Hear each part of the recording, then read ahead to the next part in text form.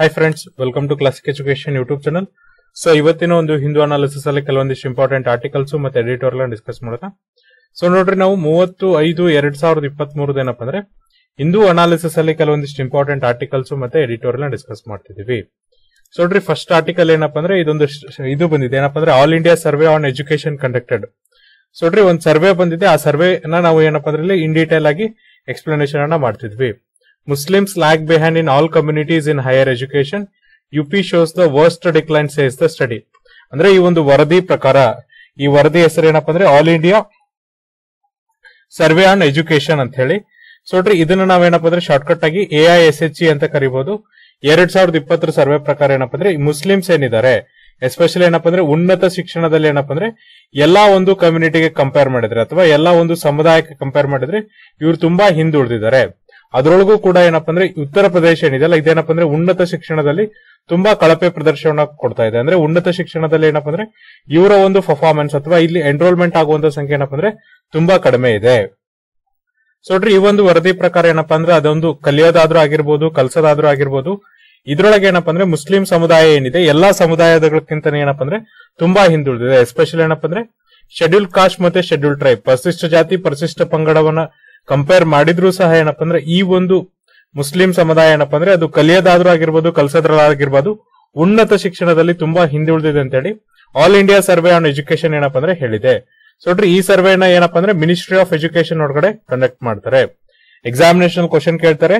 ಈ ಸರ್ವೆನ ಯಾರ್ ಯಾರ ಯಾರ್ ಅಂಡರ್ ಅಲ್ಲಿ ಕಂಡಕ್ಟ್ ಮಾಡ್ತಾರೆ ಅಂದ್ರೆ ಮಿನಿಸ್ಟ್ರಿ ಆಫ್ ಎಜುಕೇಶನ್ ಅಂಡರ್ ಅಲ್ಲಿ ಕರೆಕ್ಟ್ ಕಂಡಕ್ಟ್ ಅನ್ನ ಮಾಡ್ತಾರೆ.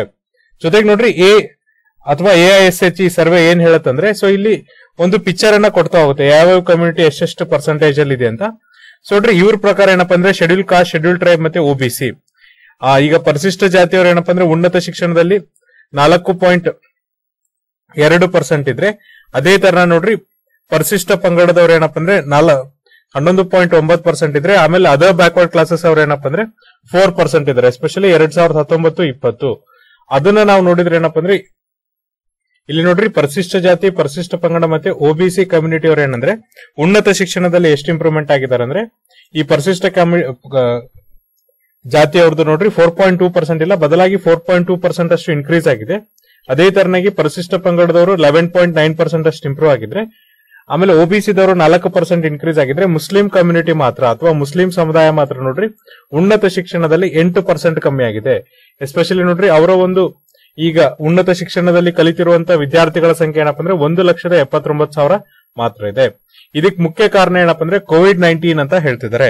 ಯಾಕೆ ಕೋವಿಡ್ ನೈನ್ಟೀನ್ ಅಪ್ಪ ಅಂತಂದ್ರೆ ಸೊ ನೋಡ್ರಿ, ಇಲ್ಲೇನ್ ಹೇಳ್ತಿದ್ದಾರೆ ಅಂದ್ರೆ ಕೋವಿಡ್ ನೈನ್ಟೀನ್ ಯಾಕಂತಂದ್ರೆ, ಈ ಒಂದು ಕೋವಿಡ್ ನೈನ್ಟೀನ್ ಅಲ್ಲಿ ಏನಂದ್ರೆ ಎಕನಾಮಿಕಲ್ ಇಂಪ್ರೂವ್ಮೆಂಟ್ ಅಂದ್ರೆ ಈ ಒಂದು ಆರ್ಥಿಕ ಚಟುವಟಿಕೆಗಳ ಇಲ್ಲದೆ ಇರೋದ್ರಿಂದ ನೋಡ್ರಿ, ಅಲ್ಲಿ ಹುಡುಗರಿಗೆ ಅಥವಾ ಮಕ್ಕಳಿಗೆ ಏನೊಂದು ಆಯ್ತಪ್ಪ ಅಂದ್ರೆ ಅವರು ಇನ್ಸ್ಟೆಡ್ ಆಫ್ ಲರ್ನಿಂಗ್ ಅಂದ್ರೆ ಅವರು ಉನ್ನತ ಶಿಕ್ಷಣಕ್ಕೆ ಹೋಗುವ ಬದಲಾಗಿ ಅವರಿಗೆ ಅರ್ನಿಂಗ್ ಅಪಾರ್ಚುನಿಟೀಸ್ನ ತೆಗೆದುಕೊಳ್ರಿ ಅಂತ ಹೇಳ್ತಾರೆ.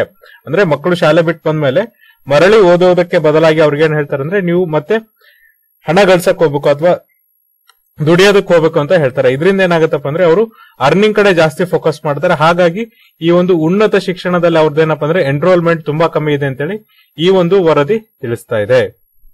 ಈ ಒಂದು ವರದಿಯ ಪ್ರಕಾರ ನೋಡ್ರಿ, ಅತ್ಯಂತ ಕಡಿಮೆ ಅಥವಾ ಎಲ್ಲಿ ಡಿಕ್ಲೈನ್ ಜಾಸ್ತಿ ಆಗಿದೆ ಅಂದ್ರೆ ಉತ್ತರ ಪ್ರದೇಶದಲ್ಲಿ.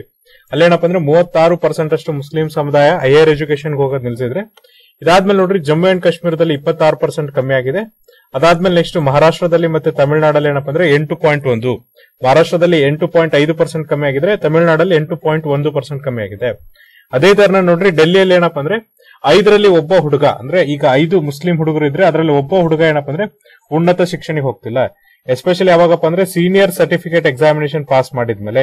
ಅಂದ್ರೆ second P U C exam pass ಮಾಡಿದ್ಮೇಲೆ ಅವನೇನಪ್ಪ ಅಂದ್ರೆ ಉನ್ನತ ಶಿಕ್ಷಣವನ್ನ ಚೂಸ್ ಮಾಡ್ಕೊಳ್ತಾ ಇಲ್ಲ. ಎಲ್ಲಿ? ಡೆಲ್ಲಿಯ ಒಂದು ಗವರ್ಮೆಂಟ್ ಒಳಗಡೆ ಅಥವಾ ಡೆಲ್ಲಿ ಪ್ರದೇಶದಲ್ಲಿ.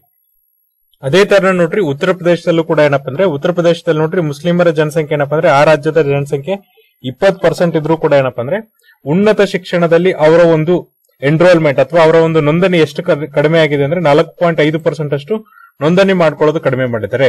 ಇದೇ ಸಮಯದಲ್ಲಿ ನೋಡ್ರಿ ಉತ್ತರ ಪ್ರದೇಶದಲ್ಲಿ ಏನಾಗಿದೆ ಅಂದ್ರೆ ಕಾಲೇಜಸ್ಗಳ ಸಂಖ್ಯೆ ಮತ್ತೆ ಸಂಸ್ಥೆಗಳ ಸಂಖ್ಯೆ, ಶಿಕ್ಷಣ ಸಂಸ್ಥೆಗಳು ಮತ್ತೆ ಕಾಲೇಜಸ್ ಸಂಖ್ಯೆಗಳು ಜಾಸ್ತಿ ಆಗಿದ್ರು ಕೂಡ ಏನಪ್ಪಾ ಅಂದ್ರೆ ಈ ಒಂದು ಮುಸ್ಲಿಮರ ಒಂದು ಎನ್ರೋಲ್ಮೆಂಟ್ ಅಥವಾ ನೋಂದಣಿ ಸಂಖ್ಯೆ ಕಮ್ಮಿ ಆಗ್ತಾ ಹೋಗಿದೆ. ಈ ಒಂದು ಟ್ರೆಂಡ್ ಅನ್ನು ನೋಡಿದಾಗ ಎಲ್ಲಾ ಕಡೆ ಏನಂದ್ರೆ ಈ ಮುಸ್ಲಿಂ ಜನಸಂಖ್ಯೆ ಅಥವಾ ಮುಸ್ಲಿಂ ಪಾಪ್ಯುಲೇಷನ್ ಉನ್ನತ ಶಿಕ್ಷಣಕ್ಕೆ ಹೋಗೋದು ಕಮ್ಮಿ ಆದ್ರೆ ಕೇರಳದಲ್ಲಿ ಮಾತ್ರ ನೋಡ್ರಿ ಇದರ ರಿವರ್ಸ್ ಟ್ರೆಂಡ್ ಇದೆ. ಅಲ್ಲಿ ಏನಪ್ಪಾ ಅಂದ್ರೆ ಉನ್ನತ ಶಿಕ್ಷಣದಲ್ಲಿ ಏನಪ್ಪಾ ಅಂದ್ರೆ ಹೆಚ್ಚಿನ ಫೋಕಸ್ ಅನ್ನ ಕೊಡ್ತಿದ್ದಾರೆ. ಸೊ ನೋಡ್ರಿ, ಇಲ್ಲಿ ಏನಂದ್ರೆ ನಲ್ವತ್ ಮೂರ್ ಪರ್ಸೆಂಟ್ ಮುಸ್ಲಿಮ್ಸ್ ಏನ್ ಮಾಡ್ತಾರೆ ಅಂದ್ರೆ ಉನ್ನತ ಶಿಕ್ಷಣವನ್ನ ಪ್ರಿಫರೆನ್ಸ್ ಮಾಡ್ತಾರೆ. ಈ ಒಂದು ಸರ್ವೆ ಏನ್ ತೋರಿಸುತ್ತೆ ಅಂದ್ರೆ ಒಬಿಸಿದವರು ಎಷ್ಟು ಚೆನ್ನಾಗಿ ಕೆಲಸವನ್ನ ಮಾಡ್ತಿದ್ದಾರೆ. ಫಾರ್ ಎಕ್ಸಾಂಪಲ್ ನೋಡ್ರಿ, ಈ ಒಂದು ಸರ್ವೆ ಪ್ರಕಾರ ಏನಂದ್ರೆ ಉನ್ನತ ಶಿಕ್ಷಣಕ್ಕೆ ಹೋದವರಲ್ಲಿ ಮೂವತ್ತಾರು ಪರ್ಸೆಂಟ್ ಜನ ಎಲ್ಲಿಂದ ಬರ್ತಾರೆ ಅಂದ್ರೆ ಒಬಿಸಿ ಕೆಟಗರಿಯಿಂದ ಬರ್ತಾರೆ. ಅದೇ ತರ ನೋಡ್ರಿ, ಹದಿನಾಲ್ಕು ಪರ್ಸೆಂಟ್ ಜನ ಏನಪ್ಪಾ ಅಂದ್ರೆ ಎಸ್ ಸಿ ಕೆಟಗರಿಯಿಂದ ಬರ್ತಾರೆ ಅಂದ್ರೆ ಶೆಡ್ಯೂಲ್ ಕಾಸ್ಟ್ ಇಂದ ಬರ್ತಾರೆ. ಹಾಗಾಗಿ ಇವೆರಡೇ ಕಮ್ಯುನಿಟಿ ಸೇರ್ಕೊಂಡ್ರೆ ಈ ಉನ್ನತ ಶಿಕ್ಷಣದಲ್ಲಿ ಎಸ್ಪೆಷಲಿ ಈ ಒಂದು ವಿಶ್ವವಿದ್ಯಾಲಯ ಮತ್ತೆ ಕಾಲೇಜಸ್ ಅಲ್ಲಿ ಏನಪ್ಪಾ ಅಂದ್ರೆ ಇವರು ಎರಡು ಜನಸಂಖ್ಯೆ ಸೇರಿ ಆಲ್ಮೋಸ್ಟ್ ಫಿಫ್ಟಿ ಪರ್ಸೆಂಟ್ ಪಾಪ್ಯುಲೇಷನ್ ಆಗುತ್ತೆ. ಉನ್ನತ ಶಿಕ್ಷಣದಲ್ಲಿ ಒಬಿಸಿ ಮತ್ತೆ ಎಸ್ ಸಿ ಪಾಪ್ಯುಲೇಷನ್ ಅನ್ನ ತೆಗೆದುಕೊಂಡ್ರೆ ನಿಮಗೆ ಆಲ್ಮೋಸ್ಟ್ ಫಿಫ್ಟಿ ಪರ್ಸೆಂಟ್ ಪಾಪ್ಯುಲೇಷನ್ ಅಲ್ಲಿ ಬರುತ್ತೆ. ನಮ್ಮ ದೇಶದಲ್ಲಿ ನೋಡ್ರಿ ಮುಸ್ಲಿಮರ ಜನಸಂಖ್ಯೆ ಹದಿನಾಲ್ಕು ಪರ್ಸೆಂಟ್ ಇದ್ರೂ ಕೂಡ ಅವರು ಉನ್ನತ ಶಿಕ್ಷಣದಲ್ಲಿ ಎನ್ರೋಲ್ಮೆಂಟ್ ಅನ್ನು ನೋಡಿದಾಗ, ನೋಂದಣಿಯನ್ನು ನೋಡಿದಾಗ ಕೇವಲ ನಾಲ್ಕು ಪಾಯಿಂಟ್ ಆರು ಪರ್ಸೆಂಟ್ ಇದೆ. ಇದ್ರ ಜೊತೆಗೆ ಇನ್ನೂ ಒಂದು ಇಂಟ್ರೆಸ್ಟಿಂಗ್ ಏನಪ್ಪಾ ಅಂದ್ರೆ ಮುಸ್ಲಿಮ್ಸ್ ಆಗಿರ್ಬೋದು ಐದಾರು ಮೈನಾರಿಟಿ ಕಮ್ಯುನಿಟೀಸ್ ಆಗಿರ್ಬೋದು.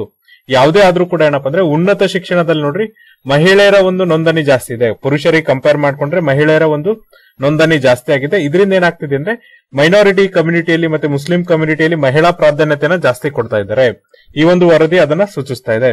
ಇದ್ರ ಜೊತೆಗೆ ನೋಡ್ರಿ ಯಾಕೆ ಈ ತರನಾಗ ಆಗ್ತಿದೆ ಅಂದ್ರೆ ಮುಂಚೆ ಏನಾಗ್ತಿದೆ ಅಂದ್ರೆ ಫ್ಯಾಮಿಲಿ ರೆಸ್ಪಾನ್ಸಿಬಿಲಿಟಿ ಏನಿರ್ತಿತ್ತು ಅಂದ್ರೆ ಮೇಲ್ ಕ್ಯಾರೆಕ್ಟರ್ ಮೇಲೆ ಅಥವಾ ಮೇಲ್ ಪರ್ಸನ್ಸ್ ಮೇಲೆ ಇರ್ತಿತ್ತು. ಈಗ ಅದೇನಾಗ್ತಿದೆ ಅಂದ್ರೆ ಗ್ರಾಜುವಲಿ ಮಹಿಳೆಯರಿಗೂ ಕೂಡ ಸ್ಥಾನಮಾನ ಕೊಡ್ತಿರೋದ್ರಿಂದ ಅವರು ಉನ್ನತ ಶಿಕ್ಷಣದಲ್ಲಿ ಹೆಚ್ಚಿನ ಆಸಕ್ತಿಯನ್ನ ತೋರಿಸಿಕೊಂಡು ಅಲ್ಲಿ ನೋಂದಣಿಯನ್ನ ಮಾಡ್ಕೋತಿದ್ದಾರೆ.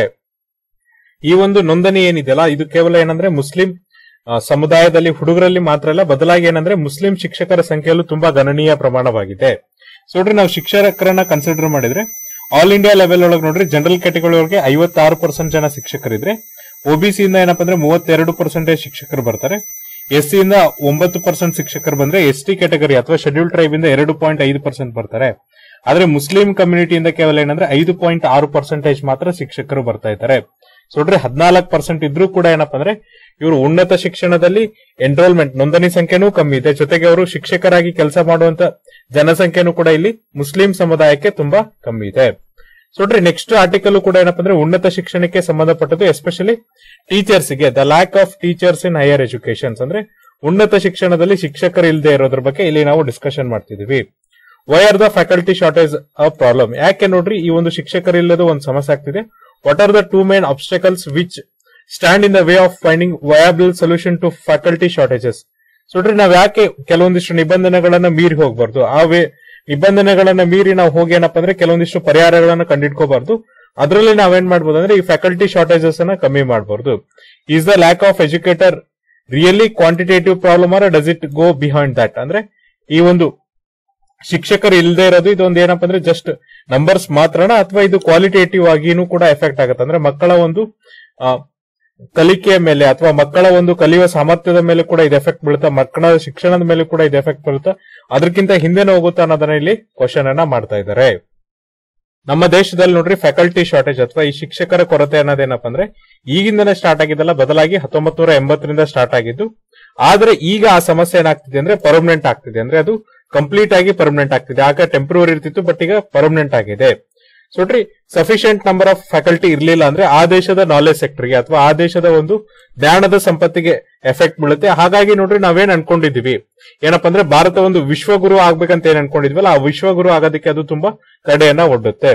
ನೋಡ್ರಿ ಅದಕ್ಕೋಸ್ಕರ ನಾವೇನ್ ಮಾಡ್ಬೇಕಂದ್ರೆ ಕಾಲೇಜಸ್ಗೆ ಮತ್ತೆ ವಿಶ್ವವಿದ್ಯಾಲಯಗಳಿಗೆ ಏನ್ ಮಾಡ್ಬೇಕಂದ್ರೆ, ಎಷ್ಟು ಟೀಚರ್ಸ್ ಬೇಕು ಅಥವಾ ಎಷ್ಟು ಶಿಕ್ಷಕರು ಬೇಕು, ಅಷ್ಟು ಶಿಕ್ಷಕರನ್ನ ಕೊಡಬೇಕು, ಅಷ್ಟು ರಿಸರ್ಚ್ ಅನ್ನ ಕೊಡಬೇಕು. ಅವಾಗ ಮಾತ್ರ ನಾವೇನಪ್ಪ ಅಂದ್ರೆ, ಮಕ್ಕಳಿಗೆ ಒಳ್ಳೆ ಒಂದು ನಾಲೆಜ್ ಅನ್ನ ಅಥವಾ ಜ್ಞಾನವನ್ನ ಕೊಡೋದಕ್ಕೆ ಸಹಾಯವನ್ನ ಮಾಡ್ದಂಗಾಗುತ್ತೆ. ಸೊ ನೋಡ್ರಿ ಇಲ್ಲಿ ಶಿಕ್ಷಕರ ಕೊರತೆ ಇರೋದಕ್ಕೆ ಎರಡು ಮುಖ್ಯ ನಿಬಂಧನೆಗಳಿದೆ ಅಥವಾ ಆಬ್ಸ್ಟೆಕಲ್ಸ್ ಇದೆ. ಯಾಕೆ ಸೊಲ್ಯೂಷನ್ ಸಿಗ್ತಾ ಇಲ್ಲ ಅಂದ್ರೆ, ಇದಕ್ಕೊಂದು ಯಾಕೆ ಪರಿಹಾರ ಸಿಗ್ತಾ ಇಲ್ಲ ಅಂತ ಹೇಳೋದಕ್ಕೆ ಎರಡು ನಿಬಂಧನೆಗಳಿದೆ. ಫಸ್ಟ್ ಆಫ್ ಆಲ್ ನೋಡ್ರಿ ಫಸ್ಟ್ ಒಂದು ಸಮಸ್ಯೆ ಇರೋದೇನಪ್ಪ ಅಂದ್ರೆ ನಮಗೆ ಯಾವುದೇ ತರನಾಗಿ ರಿಲಯಬಲ್ ಡಾಟಾ ಇಲ್ಲ. ಅಂದ್ರೆ ಯಾವ ಕಾಲೇಜಸ್ ಯಾವ ಕಾಲೇಜಸ್ ಮತ್ತೆ ಎಷ್ಟು ಯೂನಿವರ್ಸಿಟೀಸ್ ಅಲ್ಲಿ ಎಷ್ಟು ವೇಕೆನ್ಸೀಸ್ ಇದೆ ಅನ್ನೋದು ರಿಲಯಬಲ್ ಡಾಟಾ ಸರ್ಕಾರದ ಹತ್ರ ಇಲ್ಲ.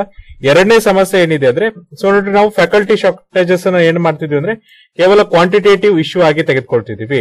ಅಂದ್ರೆ ಫ್ಯಾಕಲ್ಟಿ ಶಾರ್ಟೇಜಸ್ ಅಂದ್ರೆ ನಂಬರ್ಸ್ ಮಾತ್ರ ಕಮ್ಮಿ ಇದೆ ಅಂತ ತಿಳ್ಕೊತಿದ್ವಿ ಆದ್ರೆ ಫ್ಯಾಕಲ್ಟಿ ಶಾರ್ಟೇಜ್ ಅನ್ನೋದು ಕೇವಲ ನಂಬರ್ಸ್ ಮಾತ್ರ ಆಗಲ್ಲ, ಬದಲಾಗಿ ಅಲ್ಲಿ ಕ್ವಾಲಿಟೇಟಿವ್ ಅಂದ್ರೆ ಈಗ ನೋಡ್ರಿ ಒಬ್ಬ ಶಿಕ್ಷಕ ಉತ್ತಮ ಶಿಕ್ಷಕನಾಗಿದ್ರೆ ಅಲ್ಲಿ ಮಕ್ಕಳ ಮನಸ್ಥಿತಿಯನ್ನು ಚೇಂಜ್ ಮಾಡಬಹುದು ಮತ್ತೆ ಆ ಒಂದು ಶಾಲೆಯ ವಾತಾವರಣ ಕಾಲೇಜಿನ ವಾತಾವರಣವನ್ನು ಚೇಂಜ್ ಮಾಡಬಹುದು ಆದ್ರೆ ಸರ್ಕಾರ ಈ ಒಂದು ಶಿಕ್ಷಣದವನ್ನು ಅಥವಾ ಶಿಕ್ಷಕರ ಒಂದು ಖಾಲಿ ಇರುವ ಹುದ್ದೆಗಳನ್ನು ಕೇವಲ ಕ್ವಾಂಟಿಟೇಟಿವ್ ಆಗಿ ತಗೋತಿದೆ ಅದು ಕೂಡ ಒಂದು ನಿಬಂಧನೆ ಅಥವಾ ಸಮಸ್ಯೆ ಆಗಿ ಉಳ್ಕೊಂಡಿದೆ. ಯಾಕೆ ನಮ್ಮ ದೇಶದಲ್ಲಿ ಈ ಒಂದು ರಿಲಯಬಲ್ ಡಾಟಾ ಸಿಗ್ತಿಲ್ಲ ಎಸ್ಪೆಷಲಿ ಶಿಕ್ಷಕರ ಕೊರತೆ ಇರೋದಕ್ಕೆ ಅಂತಂದ್ರೆ, ಸೊ ಈ ಸಮಸ್ಯೆಗೆ ಏನಪ್ಪಾ ಅಂದ್ರೆ ಎರಡ್ ಸಾವಿರದ ಒಂಬತ್ತರಲ್ಲಿ ಆಗಿನ ಹ್ಯೂಮನ್ ರಿಸೋರ್ಸ್ ಮತ್ತೆ ಡೆವಲಪ್ಮೆಂಟ್ ಮಿನಿಸ್ಟರ್ ಆದಂತವ್ರು ಏನಂದ್ರೆ ಒಂದು ಟಾಸ್ಕ್ ಫೋರ್ಸ್ ಅನ್ನ ಸೆಟಪ್ ಮಾಡಿರ್ತಾರೆ. ಈ ಟಾಸ್ಕ್ ಫೋರ್ಸ್ ಏನಪ್ಪ ಅಂದ್ರೆ ಈ ಸಮಸ್ಯೆನ ಪರಿಹಾರ ಕಂಡಿಡ್ಕೊಳ್ಳೋದಕ್ಕೆ ಏನೆಲ್ಲ ಪರಿಹಾರ ಕಂಡಿಡ್ಕೋಬಹುದು ಅಂತ ನೋಡ್ತಾರೆ. ಸೊ ಈ ಒಂದು ಟಾಸ್ಕ್ ಫೋರ್ಸ್ ಏನ್ ಮಾಡುತ್ತೆ ಅಂದ್ರೆ ಒಂದು ವರದಿಯನ್ನ ಕೊಡುತ್ತೆ. ಆ ವರದಿ ಹೆಸರು ಏನಿರುತ್ತಪ್ಪ ಅಂದ್ರೆ report of the task force on faculty shortages and design performance appraisal system ಅಂದ್ರೆ, ಈ ಒಂದು ಫ್ಯಾಕಲ್ಟಿ ಶಾರ್ಟೇಜ್ ಮೇಲೆ ನಾವೇನ್ ಒಂದು ಟಾಸ್ಕ್ ಫೋರ್ಸ್ ಅನ್ನ ಮಾಡಿದ್ವಿ, ಅಲ್ಲಿ ಯಾವ ತರನಾಗಿ ನಾವು ಅದನ್ನ ತೆಗೆದುಕೊಂಡು ಹೋಗ್ಬೇಕು ಮತ್ತೆ ಟೀಚರ್ ಸಮಸ್ಯೆಗಳನ್ನ ಹೇಗೆ ಬಗೆಹರ್ಬೇಕಂತ ಹೇಳಿ ಅವರು ಮಾಡ್ತಾರೆ. ಸೊ ನೋಡ್ರಿ ಇಲ್ಲಿ ಒಂದು ಅಬ್ಸರ್ವೇಷನ್ ಪ್ರಕಾರ ಏನಪ್ಪಾ ಅಂದ್ರೆ ನಮ್ಮ ದೇಶದಲ್ಲಿ ನೋಡ್ರಿ ಈ ಒಂದು ಬಹಳಷ್ಟು ಶಾರ್ಟೇಜ್ ಇದೆ. ಟೀಚಿಂಗ್ ಸ್ಟಾಫಿಗೆ ಅನ್ನೋದು ಬಹಳಷ್ಟು ಶಾರ್ಟೇಜ್ ಇದೆ. ಆಮೇಲೆ ಇದು ದೊಡ್ಡ ಸರ್ಪ್ರೈಸ್ ಕೂಡ ಅಲ್ಲ, ಅದು ಉನ್ನತ ಶಿಕ್ಷಣದಲ್ಲಿ ಶಿಕ್ಷಕರ ಕೊರತೆ ಇರೋದು ಬಹಳಷ್ಟು ಸರ್ಪ್ರೈಸ್ ಕೂಡ ಅನ್ಸಲ್ಲ. ಆದ್ರೆ ಸರ್ಪ್ರೈಸ್ ಇರೋದೇನಪ್ಪ ಅಂದ್ರೆ, ನಮಗೆ ಯಾವುದೇ ತರನ ಅಂತ ಸಬ್ಸ್ಟ್ಯಾಂಡರ್ಡ್ ಫ್ಯಾಕ್ಚುಯಲ್ ಡಾಟಾ ಇಲ್ಲ. ಅಂದ್ರೆ ನಮ್ಮ ಹತ್ರ ಇನ್ನೂ ಕೂಡ ಏನಪ್ಪ ಅಂದ್ರೆ ದತ್ತಾಂಶ ಇಲ್ಲ. ದತ್ತಾಂಶ ಇದ್ರೆ ನಾವು ತಿಳ್ಕೊಬಹುದು ಎಷ್ಟು ಜನ ಶಾರ್ಟೇಜಸ್ ಇದಾರೆ ಏನಿದ್ದಾರೆ ಅಂತ ತಿಳ್ಕೊಬಹುದು ಆದ್ರೆ ನಮ್ಮ ಕಡೆ ಯಾವುದೇ ತರನಂತ ಫ್ಯಾಕ್ಚುಯಲ್ ದತ್ತಾಂಶ ಇಲ್ಲ. ಜೊತೆಗೆ ನೋಡ್ರಿ, ಯಾವುದೇ ತರನಂತ ಸ್ಟ್ಯಾಂಡರ್ಡ್ ಮೆಕ್ಯಾನಿಸಮ್ಸ್ ಇಲ್ಲ. ಅಂದ್ರೆ ಈಗ ಒಂದು ಕಡೆ ಎಲ್ಲಾದ್ರೂ ಶಿಕ್ಷಕರ ಕೊರತೆ ಆದ್ರೆ ಆ ಶಿಕ್ಷಕರನ್ನ ಕೊರತೆ ನೀಗಿಸೋದಕ್ಕೋಸ್ಕರ ನಾವೇನ್ ದತ್ತಾಂಶವನ್ನ ಕಲೆಕ್ಟ್ ಮಾಡ್ಬೇಕಲ್ಲ? ಈ ದತ್ತಾಂಶವನ್ನ ಕಲೆಕ್ಟ್ ಮಾಡೋದಕ್ಕೆ ನಮ್ಮ ಹತ್ರ ಯಾವುದೇ ತರನಂತ ಒಂದು ಸ್ಟ್ಯಾಂಡರ್ಡ್ ಪ್ರೊಸೀಜರ್ಸ್ ಇಲ್ಲ. ಅಥವಾ ಇನ್ಫಾರ್ಮೇಶನ್ಸ್ ಕಲೆಕ್ಟ್ ಮಾಡಕ್ಕೆ ಸ್ಟ್ಯಾಂಡರ್ಡ್ ಒಂದು ಪ್ರೊಸೀಜರ್ ಇಲ್ಲ ಅಂತ ಅವರು ಹೇಳಿದ್ದಾರೆ. ಈ ಒಂದು ವರದಿ ಏನ್ ಮಾಡುತ್ತೆ ನೋಡ್ರಿ, ಮುಂದೆ ಈ ಸ್ಟ್ಯಾಂಡಿಂಗ್ ಮೆಕ್ಯಾನಿಸಮ್ಸ್ ಏನಂತಂದ್ರೆ ಸೊ ಈ ಸ್ಟ್ಯಾಂಡಿಂಗ್ ಮೆಕ್ಯಾನಿಸಮ್ಸ್ನ ಮಾನಿಟರ್ ಮಾಡೋದಕ್ಕೆ ಮತ್ತೆ ಎಷ್ಟು ಕ್ವಾಲಿಟಿ ಫ್ಯಾಕಲ್ಟಿ ಇದಾರೆ ಅನ್ನೋದಕ್ಕೋಸ್ಕರ ಅವ್ರು ಏನ್ ಮಾಡ್ತಾರಪ್ಪ ಅಂದ್ರೆ, ಒಂದು ರೆಕಮೆಂಡೇಶನ್ಸ್ನ ಮಾಡ್ತಾರೆ. ಸೊ ನೋಡ್ರಿ, ನಿಮ್ಮ ಅಕಾಡೆಮಿಕ್ ಇನ್ಸ್ಟಿಟ್ಯೂಷನ್ಸ್ ಏನಿದೆ, ಆ ಅಕಾಡೆಮಿಕ್ ಇನ್ಸ್ಟಿಟ್ಯೂಟ್ಸ್ನ ವೆಬ್ಸೈಟ್ ಅಲ್ಲಿ ಯಾವ ಫ್ಯಾಕಲ್ಟಿ ಇದಾರೆ, ಅವರ ಕ್ವಾಲಿಫಿಕೇಶನ್ಸ್ ಏನು, ಮತ್ತೆ ಸೈಜ್ ಏನಂತ ಹೇಳ್ತಾರೆ. ಫಾರ್ ಎಕ್ಸಾಂಪಲ್ ನೋಡ್ರಿ, ನೀವು ಒಂದು ಕಾಲೇಜಿಗೆ ಹೋಗ್ತಿದ್ದೀರಾ ಅಂತ ಇಟ್ಕೋರಿ, ಯಾವ್ದೋ ಒಂದು ಗೌರ್ಮೆಂಟ್ ಕಾಲೇಜ್ ಹೋಗ್ತಿದ್ದೀರಾ ಅಂದ್ರೆ, ಆ ಗೌರ್ಮೆಂಟ್ ಕಾಲೇಜ್ ಅಲ್ಲಿ ಪ್ರೈವೇಟ್ ಕಾಲೇಜ್ ಆಗ್ಲಿ, ಅವರ ಒಂದು ವೆಬ್ಸೈಟ್ ಅಲ್ಲಿ ಏನ್ ಮಾಡ್ಬೇಕಂದ್ರೆ ಅಲ್ಲಿ ಯಾವ್ಯಾವ ತರದ ಶಿಕ್ಷಕರಿದ್ದಾರೆ, ಯಾವ್ಯಾವ ಸಬ್ಜೆಕ್ಟ್ ಗಳನ್ನ ಬೋಧನೆ ಮಾಡ್ತಾರೆ, ಅವ್ರಿಗಿರುವಂತ ಅರ್ಹತೆಗಳೇನು, ಮತ್ತೆ ಎಷ್ಟು ಕ್ವಾಲಿಟಿ ಇದೆ ಅನ್ನೋದನ್ನ ತೋರಿಸ್ಬೇಕಾಗತ್ತೆ. ಅಂದ್ರೆ ಅರ್ಹತೆಯನ್ನ ತೋರಿಸಿದ್ರೆ ಸಾಕು, ಗೊತ್ತಾಗುತ್ತೆ. ಸೊ ಇದನ್ನ ನೀವೇನ್ ಮಾಡ್ಬೇಕಂದ್ರೆ ಪಬ್ಲಿಷ್ ಮಾಡ್ಬೇಕಾಗತ್ತೆ. ಅಂದ್ರೆ ವೆಬ್ಸೈಟ್ ಅಲ್ಲಿ ನೀವು ತೋರಿಸ್ಬೇಕಂತ ಅವರು ಹೇಳ್ತಾರೆ. ಆದ್ರೆ ನೋಡ್ರಿ, ಒಂದು ದಶಕಗಳಿಗಿಂತ ಜಾಸ್ತಿನೇ ಕಳೆದ್ರೆ ಅಂದ್ರೆ ಎರಡ್ ಸಾವಿರದ ಹನ್ನೊಂದರಲ್ಲೇ ಬಂದಿತ್ತು, ನಾವು ಎರಡ್ ಸಾವಿರದ ಇಪ್ಪತ್ತ್ ಮೂರಲ್ಲಿ ಇದೀವಿ ಆಲ್ಮೋಸ್ಟ್ ಟ್ವೆಲ್ ಇಯರ್ಸ್ ಆದ್ರೂ ಕೂಡ ಏನಂದ್ರೆ ಬಹಳಷ್ಟು ಈ ಒಂದು ಶಿಕ್- ಶೈಕ್ಷಣಿಕ ಸಂಸ್ಥೆಗಳೇನಪ್ಪ ಅಂದ್ರೆ ಇನ್ಕಂಪ್ಲೀಟ್ ವೆಬ್ಸೈಟ್ ಅನ್ನ ಹೊಂದಿದೆ. ಅಥವಾ ಮೆಸ್ಸಿ ಅಂದ್ರೆ ನೋಡ್ರಿ ಅಲ್ಲಿ ಕಂಪ್ಲೀಟ್ ಆಗಿ ಏನಪ್ಪ ಅಂದ್ರೆ ಮೆಸ್ ಆಗಿರುವಂತ ವೆಬ್ಸೈಟ್ ಅಥವಾ ಇನ್ಕಂಪ್ಲೀಟ್ ವೆಬ್ಸೈಟ್ ಅನ್ನ ಹೊಂದಿದ್ದಾವೆ ಇಲ್ಲಿ ಏನಂದ್ರೆ ಅಲ್ಲಿ ಫ್ಯಾಕಲ್ಟಿ ಬಾಡೀಸ್ ಬಗ್ಗೆ ಅಥವಾ ಅವರ ಫ್ಯಾಕಲ್ಟೀಸ್ ಬಗ್ಗೆ ಏನಂದ್ರೆ ನಮಗೆ ಕಂಪ್ಲೀಟ್ ಇನ್ಫಾರ್ಮೇಶನ್ ಅನ್ನ ಕೊಡಲ್ಲ. ಬದಲಾಗಿ ಪಾರ್ಷಲ್ ಅಥವಾ ಅರ್ಧದಷ್ಟು ಮಾಹಿತಿಯನ್ನ ಮಾತ್ರ ಕೊಡ್ತಾರೆ. ಇದ್ರ ಜೊತೆಗೆ ನೋಡ್ರಿ ಸರ್ಕಾರದವರು ಕೂಡ ಏನಪ್ಪಾ ಅಂದ್ರೆ ಪ್ರತಿ ವರ್ಷ ದತ್ತಾಂಶವನ್ನ ಕಲೆಕ್ಟ್ ಮಾಡ್ತಾರೆ. ಯಾವ್ದ್ರ ಮೇಲೆ ಅಂದ್ರೆ ಕಾಲೇಜಸ್ ಮೇಲೆ ಮತ್ತೆ ವಿಶ್ವವಿದ್ಯಾಲಯಗಳ ಜೊತೆ ಏನಪ್ಪಾ ಅಂದ್ರೆ ದತ್ತಾಂಶವನ್ನ ಕಲೆಕ್ಟ್ ಮಾಡ್ತಾರೆ. ಎಸ್ಪೆಷಲಿ ನಿಮ್ಮಲ್ಲಿ ಎಷ್ಟು ಜನ ಫ್ಯಾಕಲ್ಟೀಸ್ ಇದ್ದಾರೆ ಅಥವಾ ಎಷ್ಟು ಜನ ಏನಪ್ಪಾ ಅಂದ್ರೆ ಟೀಚಿಂಗ್ ಸ್ಟಾಫ್ ಇದ್ದಾರೆ ಅಂತೇಳಿ ದತ್ತಾಂಶವನ್ನ ಕಲೆಕ್ಟ್ ಮಾಡ್ತಾರೆ. ಯಾವ್ದಕ್ಕೋಸ್ಕರಪ್ಪ ಅಂದ್ರೆ ಅವರು ಪ್ರತಿ ವರ್ಷ ರಿಲೀಸ್ ಮಾಡುವಂತ all India survey of higher education ಅಥವಾ ಈ ಒಂದು ಎ ಎಸ್ ಸಿ ಸರ್ವೆಗೋಸ್ಕರ ಈ ದತ್ತಾಂಶವನ್ನ ಕಲೆಕ್ಟ್ ಮಾಡ್ತಾರೆ. ಆದ್ರೆ ನೋಡ್ರಿ ಇದೊಂದು ಏನಪ್ಪಾ ಅಂದ್ರೆ ಸ್ವಸಹಾಯಕ ಪ್ರೋಸೆಸ್ ಆಗಿರೋದ್ರಿಂದ ಬಹಳಷ್ಟು ಇನ್ಸ್ಟಿಟ್ಯೂಟ್ ಏನಪ್ಪಾ ಅಂದ್ರೆ ಸ್ವಯಂ ಪ್ರೇರಿತವಾಗಿ ಕೊಡಬೇಕಾಗತ್ತೆ. ಆಮೇಲೆ ನೋಡ್ರಿ, ಇಲ್ಲಿ ಜವಾಬ್ದಾರಿ ಅಕ್ಯುರೇಟ್ ಆಗಿ ಕೊಡುವಂತ ಜವಾಬ್ದಾರಿ ಯಾರ ಮೇಲೆ ಇರುತ್ತೆ ಅಂದ್ರೆ, ಆ ಒಂದು ಸಂಸ್ಥೆಗಳ ಮೇಲೆ ಇರುತ್ತೆ. ಅಂದ್ರೆ, ಅವರು ಕೊಟ್ಟಂತ ಒಂದು ಏನ್ ಇನ್ಫಾರ್ಮೇಶನ್ ಇದೆ ಅಥವಾ ಮಾಹಿತಿ ಇದೆಯಲ್ಲ ಅದನ್ನೇನಪ್ಪ ಅಂದ್ರೆ, ಯಾವುದೇ ತರನಂತ ಒಂದು ಸ್ವತಂತ್ರವಾದ ಒಂದು ಏಜೆನ್ಸಿನ ಬಳಕೆ, ಬಳಸಿ ನಾವೇನ್ ಮಾಡಲ್ಲ ಅಂದ್ರೆ ವೆರಿಫಿಕೇಶನ್ ಅನ್ನ ಮಾಡಲ್ಲ. ಬದಲಾಗಿ, ಅವ್ರೇನ್ ಇನ್ಫಾರ್ಮೇಶನ್ಸ್ ಕೊಡ್ತಾರೆ, ಅದ್ರ ಮೇಲೆ ನಾವು ಈ ಒಂದು ವರದಿಯನ್ನ ಪ್ರಕಟ ಮಾಡ್ತಾ ಹೋಗ್ತೀವಿ. ಜೊತೆ ನೋಡ್ರಿ, ಇನ್ನೊಂದು ಪ್ರಾಬ್ಲಮ್ ಇರೋದೇನಪ್ಪ ಅಂದ್ರೆ, ಇಲ್ಲಿ ಪರ್ಮನೆಂಟ್ ಫ್ಯಾಕಲ್ಟಿ ಬದಲಾಗಿ ಇಲ್ಲಿ ಏನ್ ಮಾಡ್ತಾರೆ ಅಂದ್ರೆ ಅಡ್ಜಸ್ಟೆಂಟ್ ಫ್ಯಾಕಲ್ಟಿ ಅಥವಾ ಗೋಸ್ಟ್ ಮೆಂಬರ್ಸ್ ಅನ್ನ ಯೂಸ್ ಮಾಡ್ತಾರೆ. ಅಂದ್ರೆ ನೋಡ್ರಿ ಅಡ್ಜಸ್ಟೆಂಟ್ ಅಂದ್ರೆ ಏನಪ್ಪಾ ಅಂದ್ರೆ ಪಾರ್ಟ್ ಟೈಮ್ ಫ್ಯಾಕಲ್ಟಿ ಈಗ ನೋಡ್ರಿ, ಒಂದು ಕಾಲೇಜಸ್ ಅಲ್ಲಿ ಏನಪ್ಪಾ ಅಂದ್ರೆ ಕೆಮಿಸ್ಟ್ರಿ ಫಿಸಿಕ್ಸ್ ವೇಕೆನ್ಸೀಸ್ ಇದ್ರೆ ಅಲ್ಲಿ ಏನ್ ಮಾಡೋದಂದ್ರೆ ಪಾರ್ಟ್ ಟೈಮ್ ಫ್ಯಾಕಲ್ಟಿ ಏನ್ ಮಾಡೋದಂದ್ರೆ ಹೈರ್ ಮಾಡೋದು. ಇದರಿಂದ ದತ್ತಾಂಶವನ್ನ ಕೊಟ್ಟಾಗ ನಮ್ಗೆ ಏನ್ ಅನ್ಸುತ್ತೆ ಅಂದ್ರೆ ಅಲ್ಲಿ ಫ್ಯಾಕಲ್ಟಿ ಇದಾರೆ ಅಂತ ಅನ್ಸುತ್ತೆ ಬಟ್ ಎಷ್ಟು ಕ್ವಾಲಿಟಿಯಲ್ಲಿ ಇದಾರೆ ಅನ್ನೋದು ನಮಗೆ ಗೊತ್ತಾಗಲ್ಲ. ಯಾಕಂದ್ರೆ ಅವರು ಪಾರ್ಟ್ ಟೈಮ್ ಫ್ಯಾಕಲ್ಟಿನ ಹೈರ್ ಮಾಡಿರ್ತಾರೆ. ಯಾಕೆ ಈ ತರನಾಗಿ ಮಾಡ್ತಾರೆ ಅಂದ್ರೆ ನೋಡ್ರಿ, ಆ ಒಂದು ಸಂಸ್ಥೆಗೆ ಏನಪ್ಪಾ ಅಂದ್ರೆ ಸ್ಟೂಡೆಂಟ್ ಟೀಚರ್ ರೇಷಿಯೋ ಅಥವಾ ಟೀಚರ್ ಸ್ಟೂಡೆಂಟ್ ರೇಷಿಯೋ ಅಂದ್ರೆ ಒಂದು ಟೀಚರ್ಗೆ ಎಷ್ಟು ಸ್ಟೂಡೆಂಟ್ಸ್ ಇರಬೇಕು ಅಥವಾ ಇಷ್ಟು ಸ್ಟೂಡೆಂಟ್ಸ್ಗೆ ಇಷ್ಟು ಟೀಚರ್ ಇರ್ಬೇಕಂತ ಹೇಳಿ ಏನ್ ರೇಷಿಯೋ ಇರುತ್ತಲ್ಲ, ಅದನ್ನ ಅಟೆಂಡ್ ಮಾಡೋದಕ್ಕೋಸ್ಕರ ಈ ತರನಾಗಿ ಮಾಡ್ತಾರೆ. ಹಾಗಾಗಿ ನೋಡ್ರಿ, ಇದು ನಮ್ಗೆ ಏನ್ ಅನ್ಸುತ್ತೆ ಅಂದ್ರೆ ಇಂಪಾಸಿಬಲ್ ಅನ್ಸುತ್ತೆ. ಯಾವ್ದಕ್ಕೋಸ್ಕರಪ್ಪ ಅಂದ್ರೆ, ಈ ಒಂದು ಎಷ್ಟು ಫ್ಯಾಕಲ್ಟಿ ರಿಸೋರ್ಸ್ ಏನಿದ್ದಾರೆ ಅಥವಾ ರಿಯ ಫ್ಯಾಕಲ್ಟಿ ಎಷ್ಟು ಜನ ಇದಾರೆ ಅನ್ನೋದನ್ನ ಅಕ್ಯುರೇಟ್ ಆಗಿ ಎಸ್ಟಿಮೇಟ್ ಮಾಡೋದು ನಮಗೆ ಏನ್ ಅನ್ಸುತ್ತೆ ಅಂದ್ರೆ ತುಂಬಾ ಇಂಪಾಸಿಬಲ್ ಟಾಸ್ಕ್ ಆಗಿರುತ್ತೆ. ಈ ಒಂದು ಶಾರ್ಟೇಜಸ್ ಏನಿದೆಲ್ಲ ಇದೇನಂದ್ರೆ ಶಾರ್ಟ್ ಟೈಮ್ ಕ್ವಾಂಟಿಟೇಟಿವ್ ಇಶ್ಯೂಸಸ್ ಅಂದ್ರೆ ನೋಡ್ರಿ, ಈ ಒಂದು ಶಾರ್ಟೇಜಸ್ ಏನಪ್ಪ ಅಂದ್ರೆ ಕೇವಲ ಕ್ವಾಂಟಿಟೇಟಿವ್ ಅಂದ್ರೆ ಇಷ್ಟು ಜನ ನಂಬರ್ ಟೀಚರ್ಸ್ ಕಮ್ಮಿ ಇದಾರೆ, ಅದೇ ಒಂದು ಇಶ್ಯೂಸ್ ಅಂದ್ರೆ. ಸೊ ನೋಡಿ, ಬಹಳಷ್ಟು ಸರಿ ನಮಗೆ ಅಲ್ಲಿರುವಂತ ಸ್ಟೇಕ್ ಹೋಲ್ಡರ್ಸ್ ಏನ್ ಹೇಳ್ತಾರೆ ಅಂದ್ರೆ ಇದೊಂದು ಕ್ವಾಂಟಿಟೇಟಿವ್ ಇಶ್ಯೂ ಅಂತ ಹೇಳ್ತಾರೆ. ಆದ್ರೆ ನಾವು ನೇಚರ್ ಮತ್ತೆ ಸ್ಕೋಪ್ ಅನ್ನ ನೋಡಿದಾಗ, ಈ ಒಂದು ಶಾರ್ಟೇಜ್ ಏನಿದೆ ಅಥವಾ ಈ ಒಂದು ಫ್ಯಾಕಲ್ಟಿ ಮೆಂಬರ್ ಕಮ್ಮಿ ಇರೋದು ಕೇವಲ ಕ್ವಾಂಟಿಟೇಟಿವ್ ಇಶ್ಯೂ ಅಲ್ಲ, ಬದಲಾಗಿ ಅದಕ್ಕಿಂತ ಕಾಂಪ್ಲೆಕ್ಸ್ ಆಗಿರುವಂತ ಇಶ್ಯೂ ಆಗಿದೆ. ಸೊ ನೋಡ್ರಿ, ನಮಗೇನಪ್ಪ ಅಂದ್ರೆ ಇಲ್ಲಿ ಆರು ತರನ ಅಂತ ಶಾರ್ಟೇಜಸ್ ಕಂಡು ಬರುತ್ತೆ. ಒಂದೊಂದು ಕೂಡ ಏನಪ್ಪಾ ಅಂದ್ರೆ ತುಂಬಾ ಡಿಫ್ರೆಂಟ್ ಆಗಿದೆ. ಆದ್ರೆ ಕೆಲವೊಂದು ಟೈಮ್ ಏನ್ ಅನ್ಸುತ್ತೆ ಅಂದ್ರೆ ಓವರ್ ಲ್ಯಾಪಿಂಗ್ ಅನ್ಸುತ್ತೆ. ಹಾಗಾಗಿ ಇದಕ್ಕೋಸ್ಕರ ನಾವೇನ್ ಮಾಡ್ಬೇಕಪ್ಪ ಅಂದ್ರೆ ರಿಮೈಡಲ್ ಮೆಜರ್ಸ್ ಅನ್ನ ತೆಗೆದುಕೊಳ್ಬೇಕು. ಅಂದ್ರೆ ಪರಿಹಾರಗಳನ್ನ ಕಂಡಿಡ್ಕೋಬೇಕು ಅಂದ್ರೆ ಶಾರ್ಟೇಜಸ್ ಅನ್ನೋದು ಕೇವಲ ನಂಬರ್ಸ್ ಅಲ್ಲಿ ಇರಲ್ಲ, ಬದಲಾಗಿ ಬೇರೆ ಬೇರೆ ತರನ ಅಂತ ಶಾರ್ಟೇಜಸ್ ಇದೆ. ಒಟ್ಟು ಆರು ತರನಾದಂತ ಶಾರ್ಟೇಜಸ್ ಇದೆ. ಇದಕ್ಕೋಸ್ಕರ ಸರ್ಕಾರದವ್ರೇನಂದ್ರೆ ಒಂದು ಪರಿಹಾರಗಳನ್ನ ಕಂಡಿಡ್ಕೋಬೇಕಾಗತ್ತೆ ಮೊದಲನೇ ಟೈಪ್ ನೋಡ್ರಿ. ಮೊದಲನೇ ಟೈಪ್ ಏನಪ್ಪಾ ಅಂದ್ರೆ ಫ್ಯಾಕಲ್ಟಿ ಮೆಂಬರ್ ಏನಪ್ಪಾ ಅಂದ್ರೆ ಬೇರೆ ಬೇರೆ ಡಿಸಿಪ್ಲಿನ್ಸ್ ಅಲ್ಲಿ ಮತ್ತೆ ಬೇರೆ ಬೇರೆ ಸಂಸ್ಥೆಗಳಲ್ಲಿ, ಬೇರೆ ಬೇರೆ ಲೊಕೇಶನ್ಸ್ ಅಲ್ಲಿ ಬೇರೆ ಬೇರೆ ತರನಾಗಿರುತ್ತಾರೆ. ನೋಡ್ರಿ, ಕೆಲವೊಂದಿಷ್ಟು ಡಿಸಿಪ್ಲಿನ್ಸ್ ಅಲ್ಲಿ. ಅಂದ್ರೆ ಈಗ ಫಿಸಿಕ್ಸ್ ಕೆಮಿಸ್ಟ್ರಿ ನಾವು ಮ್ಯಾಥಮೆಟಿಕ್ಸ್ ನೋಡಿದಾಗ ಕೆಲವೊಂದ್ ಕಡೆ ಫಿಸಿಕ್ಸ್ ಅಲ್ಲಿ ಜಾಸ್ತಿ ಇರ್ತಾರೆ, ಕೆಲವೊಂದ್ ಕಡೆ ಕೆಮಿಸ್ಟ್ರಿ ಇರೋದೇ ಇಲ್ಲ. ಕೆಲವೊಂದ್ ಕಡೆ ನೋಡ್ರಿ, ಒಂದೇ ಪ್ರದೇಶದಲ್ಲಿ ಹೆಚ್ಚಿನ ಜನ ಫ್ಯಾಕಲ್ಟೀಸ್ ಇರ್ತಾರೆ. ಈ ತರ ಆಗಿದ್ರೆ ಇನ್ನೊಂದ್ ಕಡೆ ಏನಾಗಿರುತ್ತೆ ಅಂದ್ರೆ ತುಂಬಾ ಅಕ್ಯೂಟ್ ಅಂದ್ರೆ ತುಂಬಾ ಕಡಿಮೆ ಫ್ಯಾಕಲ್ಟೀಸ್ ಇರ್ತಾರೆ. ಇದನ್ನ ಈ ಚಾಲೆಂಜಸ್ನ ಯಾವ ತರನಾಗಿ ಅಥವಾ ಈ ಸಮಸ್ಯೆನ ನಾವು ಯಾವ ತರನಾಗಿ ಪರಿಹಾರ ಕಂಡಿಟ್ಕೋಬಹುದು ಅಂತಂದ್ರೆ, ಸೊ ಇದಕ್ಕೆ ನಾವೇನ್ ಮಾಡ್ಬೇಕಂದ್ರೆ ಫಸ್ಟ್ ಏನ್ ಡಿಮ್ಯಾಂಡ್ ಅಂಡ್ ಸಪ್ಲೈ ಇದೆ. ಅಂದ್ರೆ ಈಗ ಎಲ್ಲಿ ಜಾಸ್ತಿ ವೇಕೆನ್ಸೀಸ್ ಇದೆ ಅಥವಾ ಎಲ್ಲಿ ಶಾರ್ಟೇಜಸ್ ಇದೆಯಲ್ಲ ಅಲ್ಲಿಗೆ ಏನ್ ಮಾಡೋದಂದ್ರೆ ಇರುವಂತ ಎಕ್ಸ್ಟ್ರಾ ಓವರ್ ಲ್ಯಾಪಿಂಗ್ ಫ್ಯಾಕಲ್ಟೀಸ್ ಅಲ್ಲಿ ಕಳಿಸಿ ಬ್ಯಾಲೆನ್ಸ್ ಅನ್ನ ಮಾಡ್ಬೇಕಂತ ಹೇಳಿದ್ದಾರೆ. ಇದರಿಂದ ಏನಾಗುತ್ತೆ ಅಂದ್ರೆ ಸ್ಪೆಸಿಫಿಕ್ ಡಿಸಿಪ್ಲಿನ್ಸ್ ಮತ್ತೆ ಸ್ಪೆಸಿಫಿಕ್ ಲೊಕೇಶನ್ಸ್ ಅಲ್ಲಿ ಏನ್ ಡಿಮ್ಯಾಂಡ್ ಅಂಡ್ ಸಪ್ಲೈ ಇದೆಯಲ್ಲ, ಆ ಡಿಮ್ಯಾಂಡ್ ಅಂಡ್ ಸಪ್ಲೈನ ನಾವೇನ್ ಮಾಡಬಹುದು ಅಂದ್ರೆ ಕಡಿಮೆ ಮಾಡಬಹುದು ಇದರಿಂದ ಬೇರೆ ಬೇರೆ ಸಂಸ್ಥೆ ಮತ್ತೆ ಲೊಕೇಶನ್ಸ್ ಅಲ್ಲಿರುವಂತಹ ಶಾರ್ಟೇಜಸ್ ಅನ್ನು ಕೂಡ ಕಡಿಮೆ ಮಾಡಬಹುದಾಗಿದೆ ಎರಡನೇ ಶಾರ್ಟೇಜಸ್ ಇರೋದು ನೋಡ್ರಿ, ಇದೇನಪ್ಪ ಅಂದ್ರೆ ಪಬ್ಲಿಕ್ ಇನ್ಸ್ಟಿಟ್ಯೂಷನ್ಸ್ ಅಂದ್ರೆ ಸಾರ್ವಜನಿಕ ಸಂಸ್ಥೆಗಳಲ್ಲಾಗುತ್ತೆ ಇಲ್ಲೇನಂದ್ರೆ ಅವ್ರಿಗೆ ಸಂಸ್ಥೆ ಇದ್ರೂ ಸಹ ಏನಪ್ಪ ಅಂದ್ರೆ ಸಾರ್ವಜನಿಕ ಸಂಸ್ಥೆಗಳಿದ್ರೂ ಕೂಡ ಏನಪ್ಪ ಅಂದ್ರೆ ಅವರಿಗೆ ಈ ಒಂದು ಫ್ಯಾಕಲ್ಟಿನ ಹೈರ್ ಮಾಡೋದಕ್ಕೆ ಎಬಿಲಿಟಿ ಇರೋದಿಲ್ಲ. They are inability to hire the faculty ಯಾಕೆ ಈ ತರನಾಗ ಆಗತ್ತಂದ್ರೆ ಸೊ ನೋಡ್ರಿ ಫಸ್ಟ್ ಆಫ್ ಆಲ್ ಏನಪ್ಪ ಅಂದ್ರೆ ಫೈನಾನ್ಷಿಯಲ್ ರೀಸನ್ ಅನ್ನ ಹೇಳ್ತಾರೆ. ಅಂದ್ರೆ ಸಾರ್ವಜನಿಕ ಸಂಸ್ಥೆಗಳು ಅಥವಾ ಹೊಸ ಹೊಸ ಕಾಲೇಜ್ಗಳು ಕ್ರಿಯೇಟ್ ಆದ್ರೂ ಕೂಡ ಏನಂದ್ರೆ, ಅಲ್ಲಿ ಶಿಕ್ಷಕರನ್ನ ನೇಮಕಾತಿ ಮಾಡಕ್ಕಾಗಲ್ಲ. ಇದಕ್ಕೆ ಮುಖ್ಯ ಕಾರಣ ಏನಪ್ಪ ಅಂದ್ರೆ ಆರ್ಥಿಕವಾಗಿರುವಂತ ನಿರ್ಬಂಧ ಅಥವಾ ಆರ್ಥಿಕವಾಗಿ ಅವರಿಗೆ ಸದೃಢವಾಗಿರೋದಿಲ್ಲ. ಇದು ನೋಡ್ರಿ, ರಾಜ್ಯದಲ್ಲಿರುವಂತ ಎಲ್ಲಾ ಯೂನಿವರ್ಸಿಟೀಸ್ ಅಥವಾ ಒಂದು ವಿಶ್ವವಿದ್ಯಾಲಯಗಳಲ್ಲಿ ಆಗತ್ತೆ. ಸೊ ನೋಡ್ರಿ, ಬಹಳಷ್ಟು ಕಡೆ ಏನಾಗತ್ತಪ್ಪ ಅಂದ್ರೆ ಹೊಸ ಹೊಸ ಕಾಲೇಜ್ಗಳನ್ನ ಸ್ಥಾಪನೆ ಮಾಡ್ತಾರೆ. ಅವುಗಳಿಗೆ ಏನಪ್ಪಾ ಅಂದ್ರೆ ಫಂಡಿಂಗ್ ಅನ್ನ ಕೊಡ್ಬೇಕಲ್ಲ, ಅದನ್ನ ಅಂಡರ್ ಫಂಡೆಡ್ ಮಾಡ್ತಾರೆ. ಅಂದ್ರೆ ಹೆಚ್ಚು ಫಂಡ್ ಅನ್ನ ರಿಲೀಸ್ ಮಾಡ್ಬೇಕಲ್ಲ, ಅಷ್ಟು ಫಂಡ್ ಅನ್ನ ರಿಲೀಸ್ ಮಾಡೋದಿಲ್ಲ. ಜೊತೆಗೆ ನೋಡ್ರಿ ಸ್ಟೂಡೆಂಟ್ಸ್ಗಳು ಇನ್ಕ್ರೀಸ್ ಆದ್ರೂ ಸಹ ಏನಪ್ಪಾ ಅಂದ್ರೆ ರಾಜ್ಯ ಸರ್ಕಾರದವರು ಅಷ್ಟು ಹೊಸ ಒಂದು ಶಿಕ್ಷಕರ ಪೊಸಿಷನ್ಸ್ ಅನ್ನ ಕ್ರಿಯೇಟ್ ಮಾಡಲ್ಲ. ಅಂದ್ರೆ ನೋಡ್ರಿ, ಈಗೇನ್ ಮಾಡ್ತಾರೆ ಅಂದ್ರೆ ಒಂದ್ ಏರಿಯಾದಲ್ಲಿ ಹೊಸ ಕಾಲೇಜನ್ನ ಸ್ಥಾಪನೆ ಮಾಡ್ತಾರೆ. ಅಲ್ಲಿ ಶಿಕ್ಷಕರನ್ನ ಹೈರ್ ಮಾಡ್ಕೊಳ್ಳೋದಕ್ಕೆ ಹೊಸ ಒಂದು ರಿಕ್ರೂಟ್ಮೆಂಟ್ ಅನ್ನ ಕರೆಯೋದಿಲ್ಲ. ಬದಲಾಗಿ ಏನ್ ಮಾಡ್ತಾರೆ ಅಂದ್ರೆ ಅತಿಥಿ ಶಿಕ್ಷಕರು ಇರ್ಬೋದು ಪಾರ್ಟ್ ಟೈಮ್ ಫ್ಯಾಕಲ್ಟಿನ ಹೈರ್ ಮಾಡ್ತಾ ಹೋಗ್ತಾರೆ. ಇದಕ್ ಮುಖ್ಯ ಕಾರಣ ಏನಪ್ಪಾ ಅಂದ್ರೆ ಅಲ್ಲಿರುವಂತ ಶಿಕ್ಷಣ ಸಂಸ್ಥೆಗಳಲ್ಲಿ ಫಂಡ್ಸೇ ಇರಲ್ಲ. ಅಂದ್ರೆ ಅವ್ರಿಗೆ ಆರ್ಥಿಕವಾಗಿ ಸದೃಢವಾಗಿರಲ್ಲ. ಹಾಗಾಗಿ ಅಲ್ಲಿ ಏನಪ್ಪಾ ಅಂದ್ರೆ ವೇಕೆನ್ಸೀಸ್ ಉಳಿತಾ ಹೋಗುತ್ತೆ. ಮೂರನೇ ಕಾರಣ ಇರೋದು ಅಥವಾ ಮೂರನೇ ಶಾರ್ಟೇಜ್ ಇರೋದು ಯಾವ ತರನಾಗ ಅಂದ್ರೆ ಕೆಲವೊಂದಿಷ್ಟು ಸಂಸ್ಥೆಗಳು ನೋಡ್ರಿ ಅನ್ವಿಲಿಂಗ್ ಆಗಿರ್ತಾರೆ. ಅಂದ್ರೆ ಫ್ಯಾಕಲ್ಟಿ ಮೆಂಬರ್ನ ಹೈರ್ ಮಾಡೋದಕ್ಕೆ ಪರ್ಮನೆಂಟ್ ಫ್ಯಾಕಲ್ಟಿನ ಹೈರ್ ಮಾಡೋದಕ್ಕೆ ಅವ್ರು ಯಾವುದೇ ತರನಂತ ಇಂಟ್ರೆಸ್ಟ್ನ ತೋರಿಸಲ್ಲ. ಇದು ಎಲ್ಲಿ ಕಾಮನ್ ಆಗಿರುತ್ತೆ ಅಂದ್ರೆ ಈ ಒಂದು ಖಾಸಗಿ ಸಂಸ್ಥೆಗಳು ಅಥವಾ ಖಾಸಗಿ ಕಾಲೇಜ್ಗಳಲ್ಲಿ ಜಾಸ್ತಿ ಆಗಿರುತ್ತೆ. ಯಾಕಂದ್ರೆ ಅವರ ಮುಖ್ಯ ಪರ್ಪಸ್ ಏನಿರುತ್ತಪ್ಪ ಅಂದ್ರೆ ಪ್ರಾಫಿಟ್ ಸಿಕ್ಕಿಂಗ್ ಅಂದ್ರೆ ಹೆಚ್ಚಿನ ಲಾಭ ಮಾಡೋದೇ ಅವರ ಮುಖ್ಯ ಉದ್ದೇಶ ಆಗಿರುತ್ತೆ. ಸೊ ನೋಡ್ರಿ, ಇಲ್ಲಿರುವಂತ ಇನ್ಸ್ಟಿಟ್ಯೂಟ್ನ ಓನರ್ ಆಗಿರ್ಬೋದು ಅಡ್ಮಿನಿಸ್ಟ್ರೇಟ್ ಆಗಿರ್ಬೋದು ಅವ್ರೇನ್ ಮಾಡ್ತಾರೆ ಅಂದ್ರೆ ಕಡಿಮೆ ಸಂಬಳ ಇರುವಂತ, ಕಡಿಮೆ ಸಂಬಳ ತೆಗಿರುವಂತ ಫ್ಯಾಕಲ್ಟಿನ ಹೈರ್ ಮಾಡ್ತಾರೆ. ಆಮೇಲೆ ನೋಡ್ರಿ ಇವ್ರೇನ್ ಮಾಡ್ತಾರೆ ಅಂದ್ರೆ ತುಂಬಾ ಕಡಿಮೆ ಕ್ವಾಲಿಫೈ ಇರುವಂತ, ಅಂದ್ರೆ ಹೆಚ್ಚಿನ ಅರ್ಹತೆಯಲ್ಲಿರುವಂತ ಪೋರ್ಲಿ ಪೇಡ್ ಅಂತ ಪಾರ್ಟ್ ಟೈಮ್ ವರ್ಕರ್ಗೆ ಹೆಚ್ಚಿನ ಪ್ರಿಫರೆನ್ಸ್ ಅನ್ನ ಕೊಡ್ತಾ ಹೋಗ್ತಾರೆ. ಯಾಕಂದ್ರೆ ಇದರಿಂದ ನೋಡ್ರಿ, ಒಬ್ಬ ಕಡಿಮೆ ಸ್ಯಾಲ್ರಿಗೆ ಬರ್ತಾನೆ ಅಂದ್ರೆ ಅವನಿಗೆ ಕಡಿಮೆ ಕ್ವಾಲಿಫಿಕೇಶನ್ಸ್ ಇರುತ್ತೆ. ಜೊತೆಗೆ ಏನಪ್ಪಾ ಅಂದ್ರೆ ಅವನಿಗೆ ಸಂಸ್ಥೆಯಿಂದ ಕೊಡಬಹುದಂತ ಹಣನೂ ಕಡಿಮೆ ಇರುತ್ತೆ. ಅಂದ್ರೆ ಸಂಬಳನೂ ಕಡಿಮೆ ಆಗುತ್ತೆ. ಇದರಿಂದ ಅವರ ಪ್ರಾಫಿಟ್ ಏನಾಗುತ್ತೆ ಅಂದ್ರೆ ಜಾಸ್ತಿ ಆಗುತ್ತೆ. ಅದಕ್ಕೋಸ್ಕರ ಖಾಸಗಿ ಸಂಸ್ಥೆಗಳು ಏನ್ ಮಾಡ್ತಾವ ಅಂದ್ರೆ, ಈ ಒಂದು ಲೆಸ್ ಕ್ವಾಲಿಫೈಡ್ ಅಥವಾ ಲೆಸ್ ಪೇಡ್ ಪಾರ್ಟ್ ಟೈಮ್ ಫ್ಯಾಕಲ್ಟಿನ ಜಾಸ್ತಿ ಹೈರ್ ಅನ್ನ ಮಾಡ್ತಾರೆ.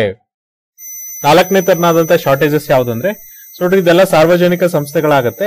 ಎಸ್ಪೆಷಲಿ ಏನಂದ್ರೆ, ಈ ಒಂದು ರಿಸರ್ವೇಶನ್ ಏನ್ ಕೊಟ್ಟಿದ್ರೆ, ಅಂದ್ರೆ ಈ ಒಂದು ನೇಮಕಾತಿಲಿ ಮೀಸಲಾತಿಯನ್ನು ಏನ್ ಕೊಟ್ಟಿರ್ತಾರಲ್ಲ, ಅದರಿಂದ ಏನಾಗಿರುತ್ತೆ ಅಂದ್ರೆ ಈ ಒಂದು ಶಾರ್ಟೇಜಸ್ ಉಳ್ಕೊಳ್ಳುತ್ತೆ. ಎಸ್ಪೆಷಲಿ ಏನಪ್ಪಾ ಅಂದ್ರೆ ಅದರ್ ಬ್ಯಾಕ್ವರ್ಡ್ ಕ್ಲಾಸಸ್ ಮತ್ತೆ ಶೆಡ್ಯೂಲ್ ಕಾಸ್ಟ್ ಮತ್ತೆ ಶೆಡ್ಯೂಲ್ ಟ್ರೈಬ್ ಗ್ರೂಪ್ಗೆ ಸೊ ನೋಡ್ರಿ ಈ ಮೀಸಲಾತಿಯನ್ನ ಕೊಡೋದ್ರಿಂದ ಏನಪ್ಪಾ ಅಂದ್ರೆ, ಯಾರು ಅರ್ಹರಿರ್ತಾರಲ್ಲ ಅಭ್ಯರ್ಥಿಗಳು ಇದ್ರೂ ಸಹ ಏನಪ್ಪಾ ಅಂದ್ರೆ, ಅದೇ ಕಾಸ್ಟ್ ಅಥವಾ ಅದೇ ಒಂದು ಕೆಟಗರಿಯಿಂದ ಬರ್ದೇ ಇರೋದ್ರಿಂದ ಅವರಿಗೆ ಆ ಒಂದು ಅರ್ಹತೆ ಇದ್ರೂ ಕೂಡ ಏನಂದ್ರೆ ಅವ್ರನ್ನ ಹೈರ್ ಮಾಡಕ್ಕಾಗಲ್ಲ.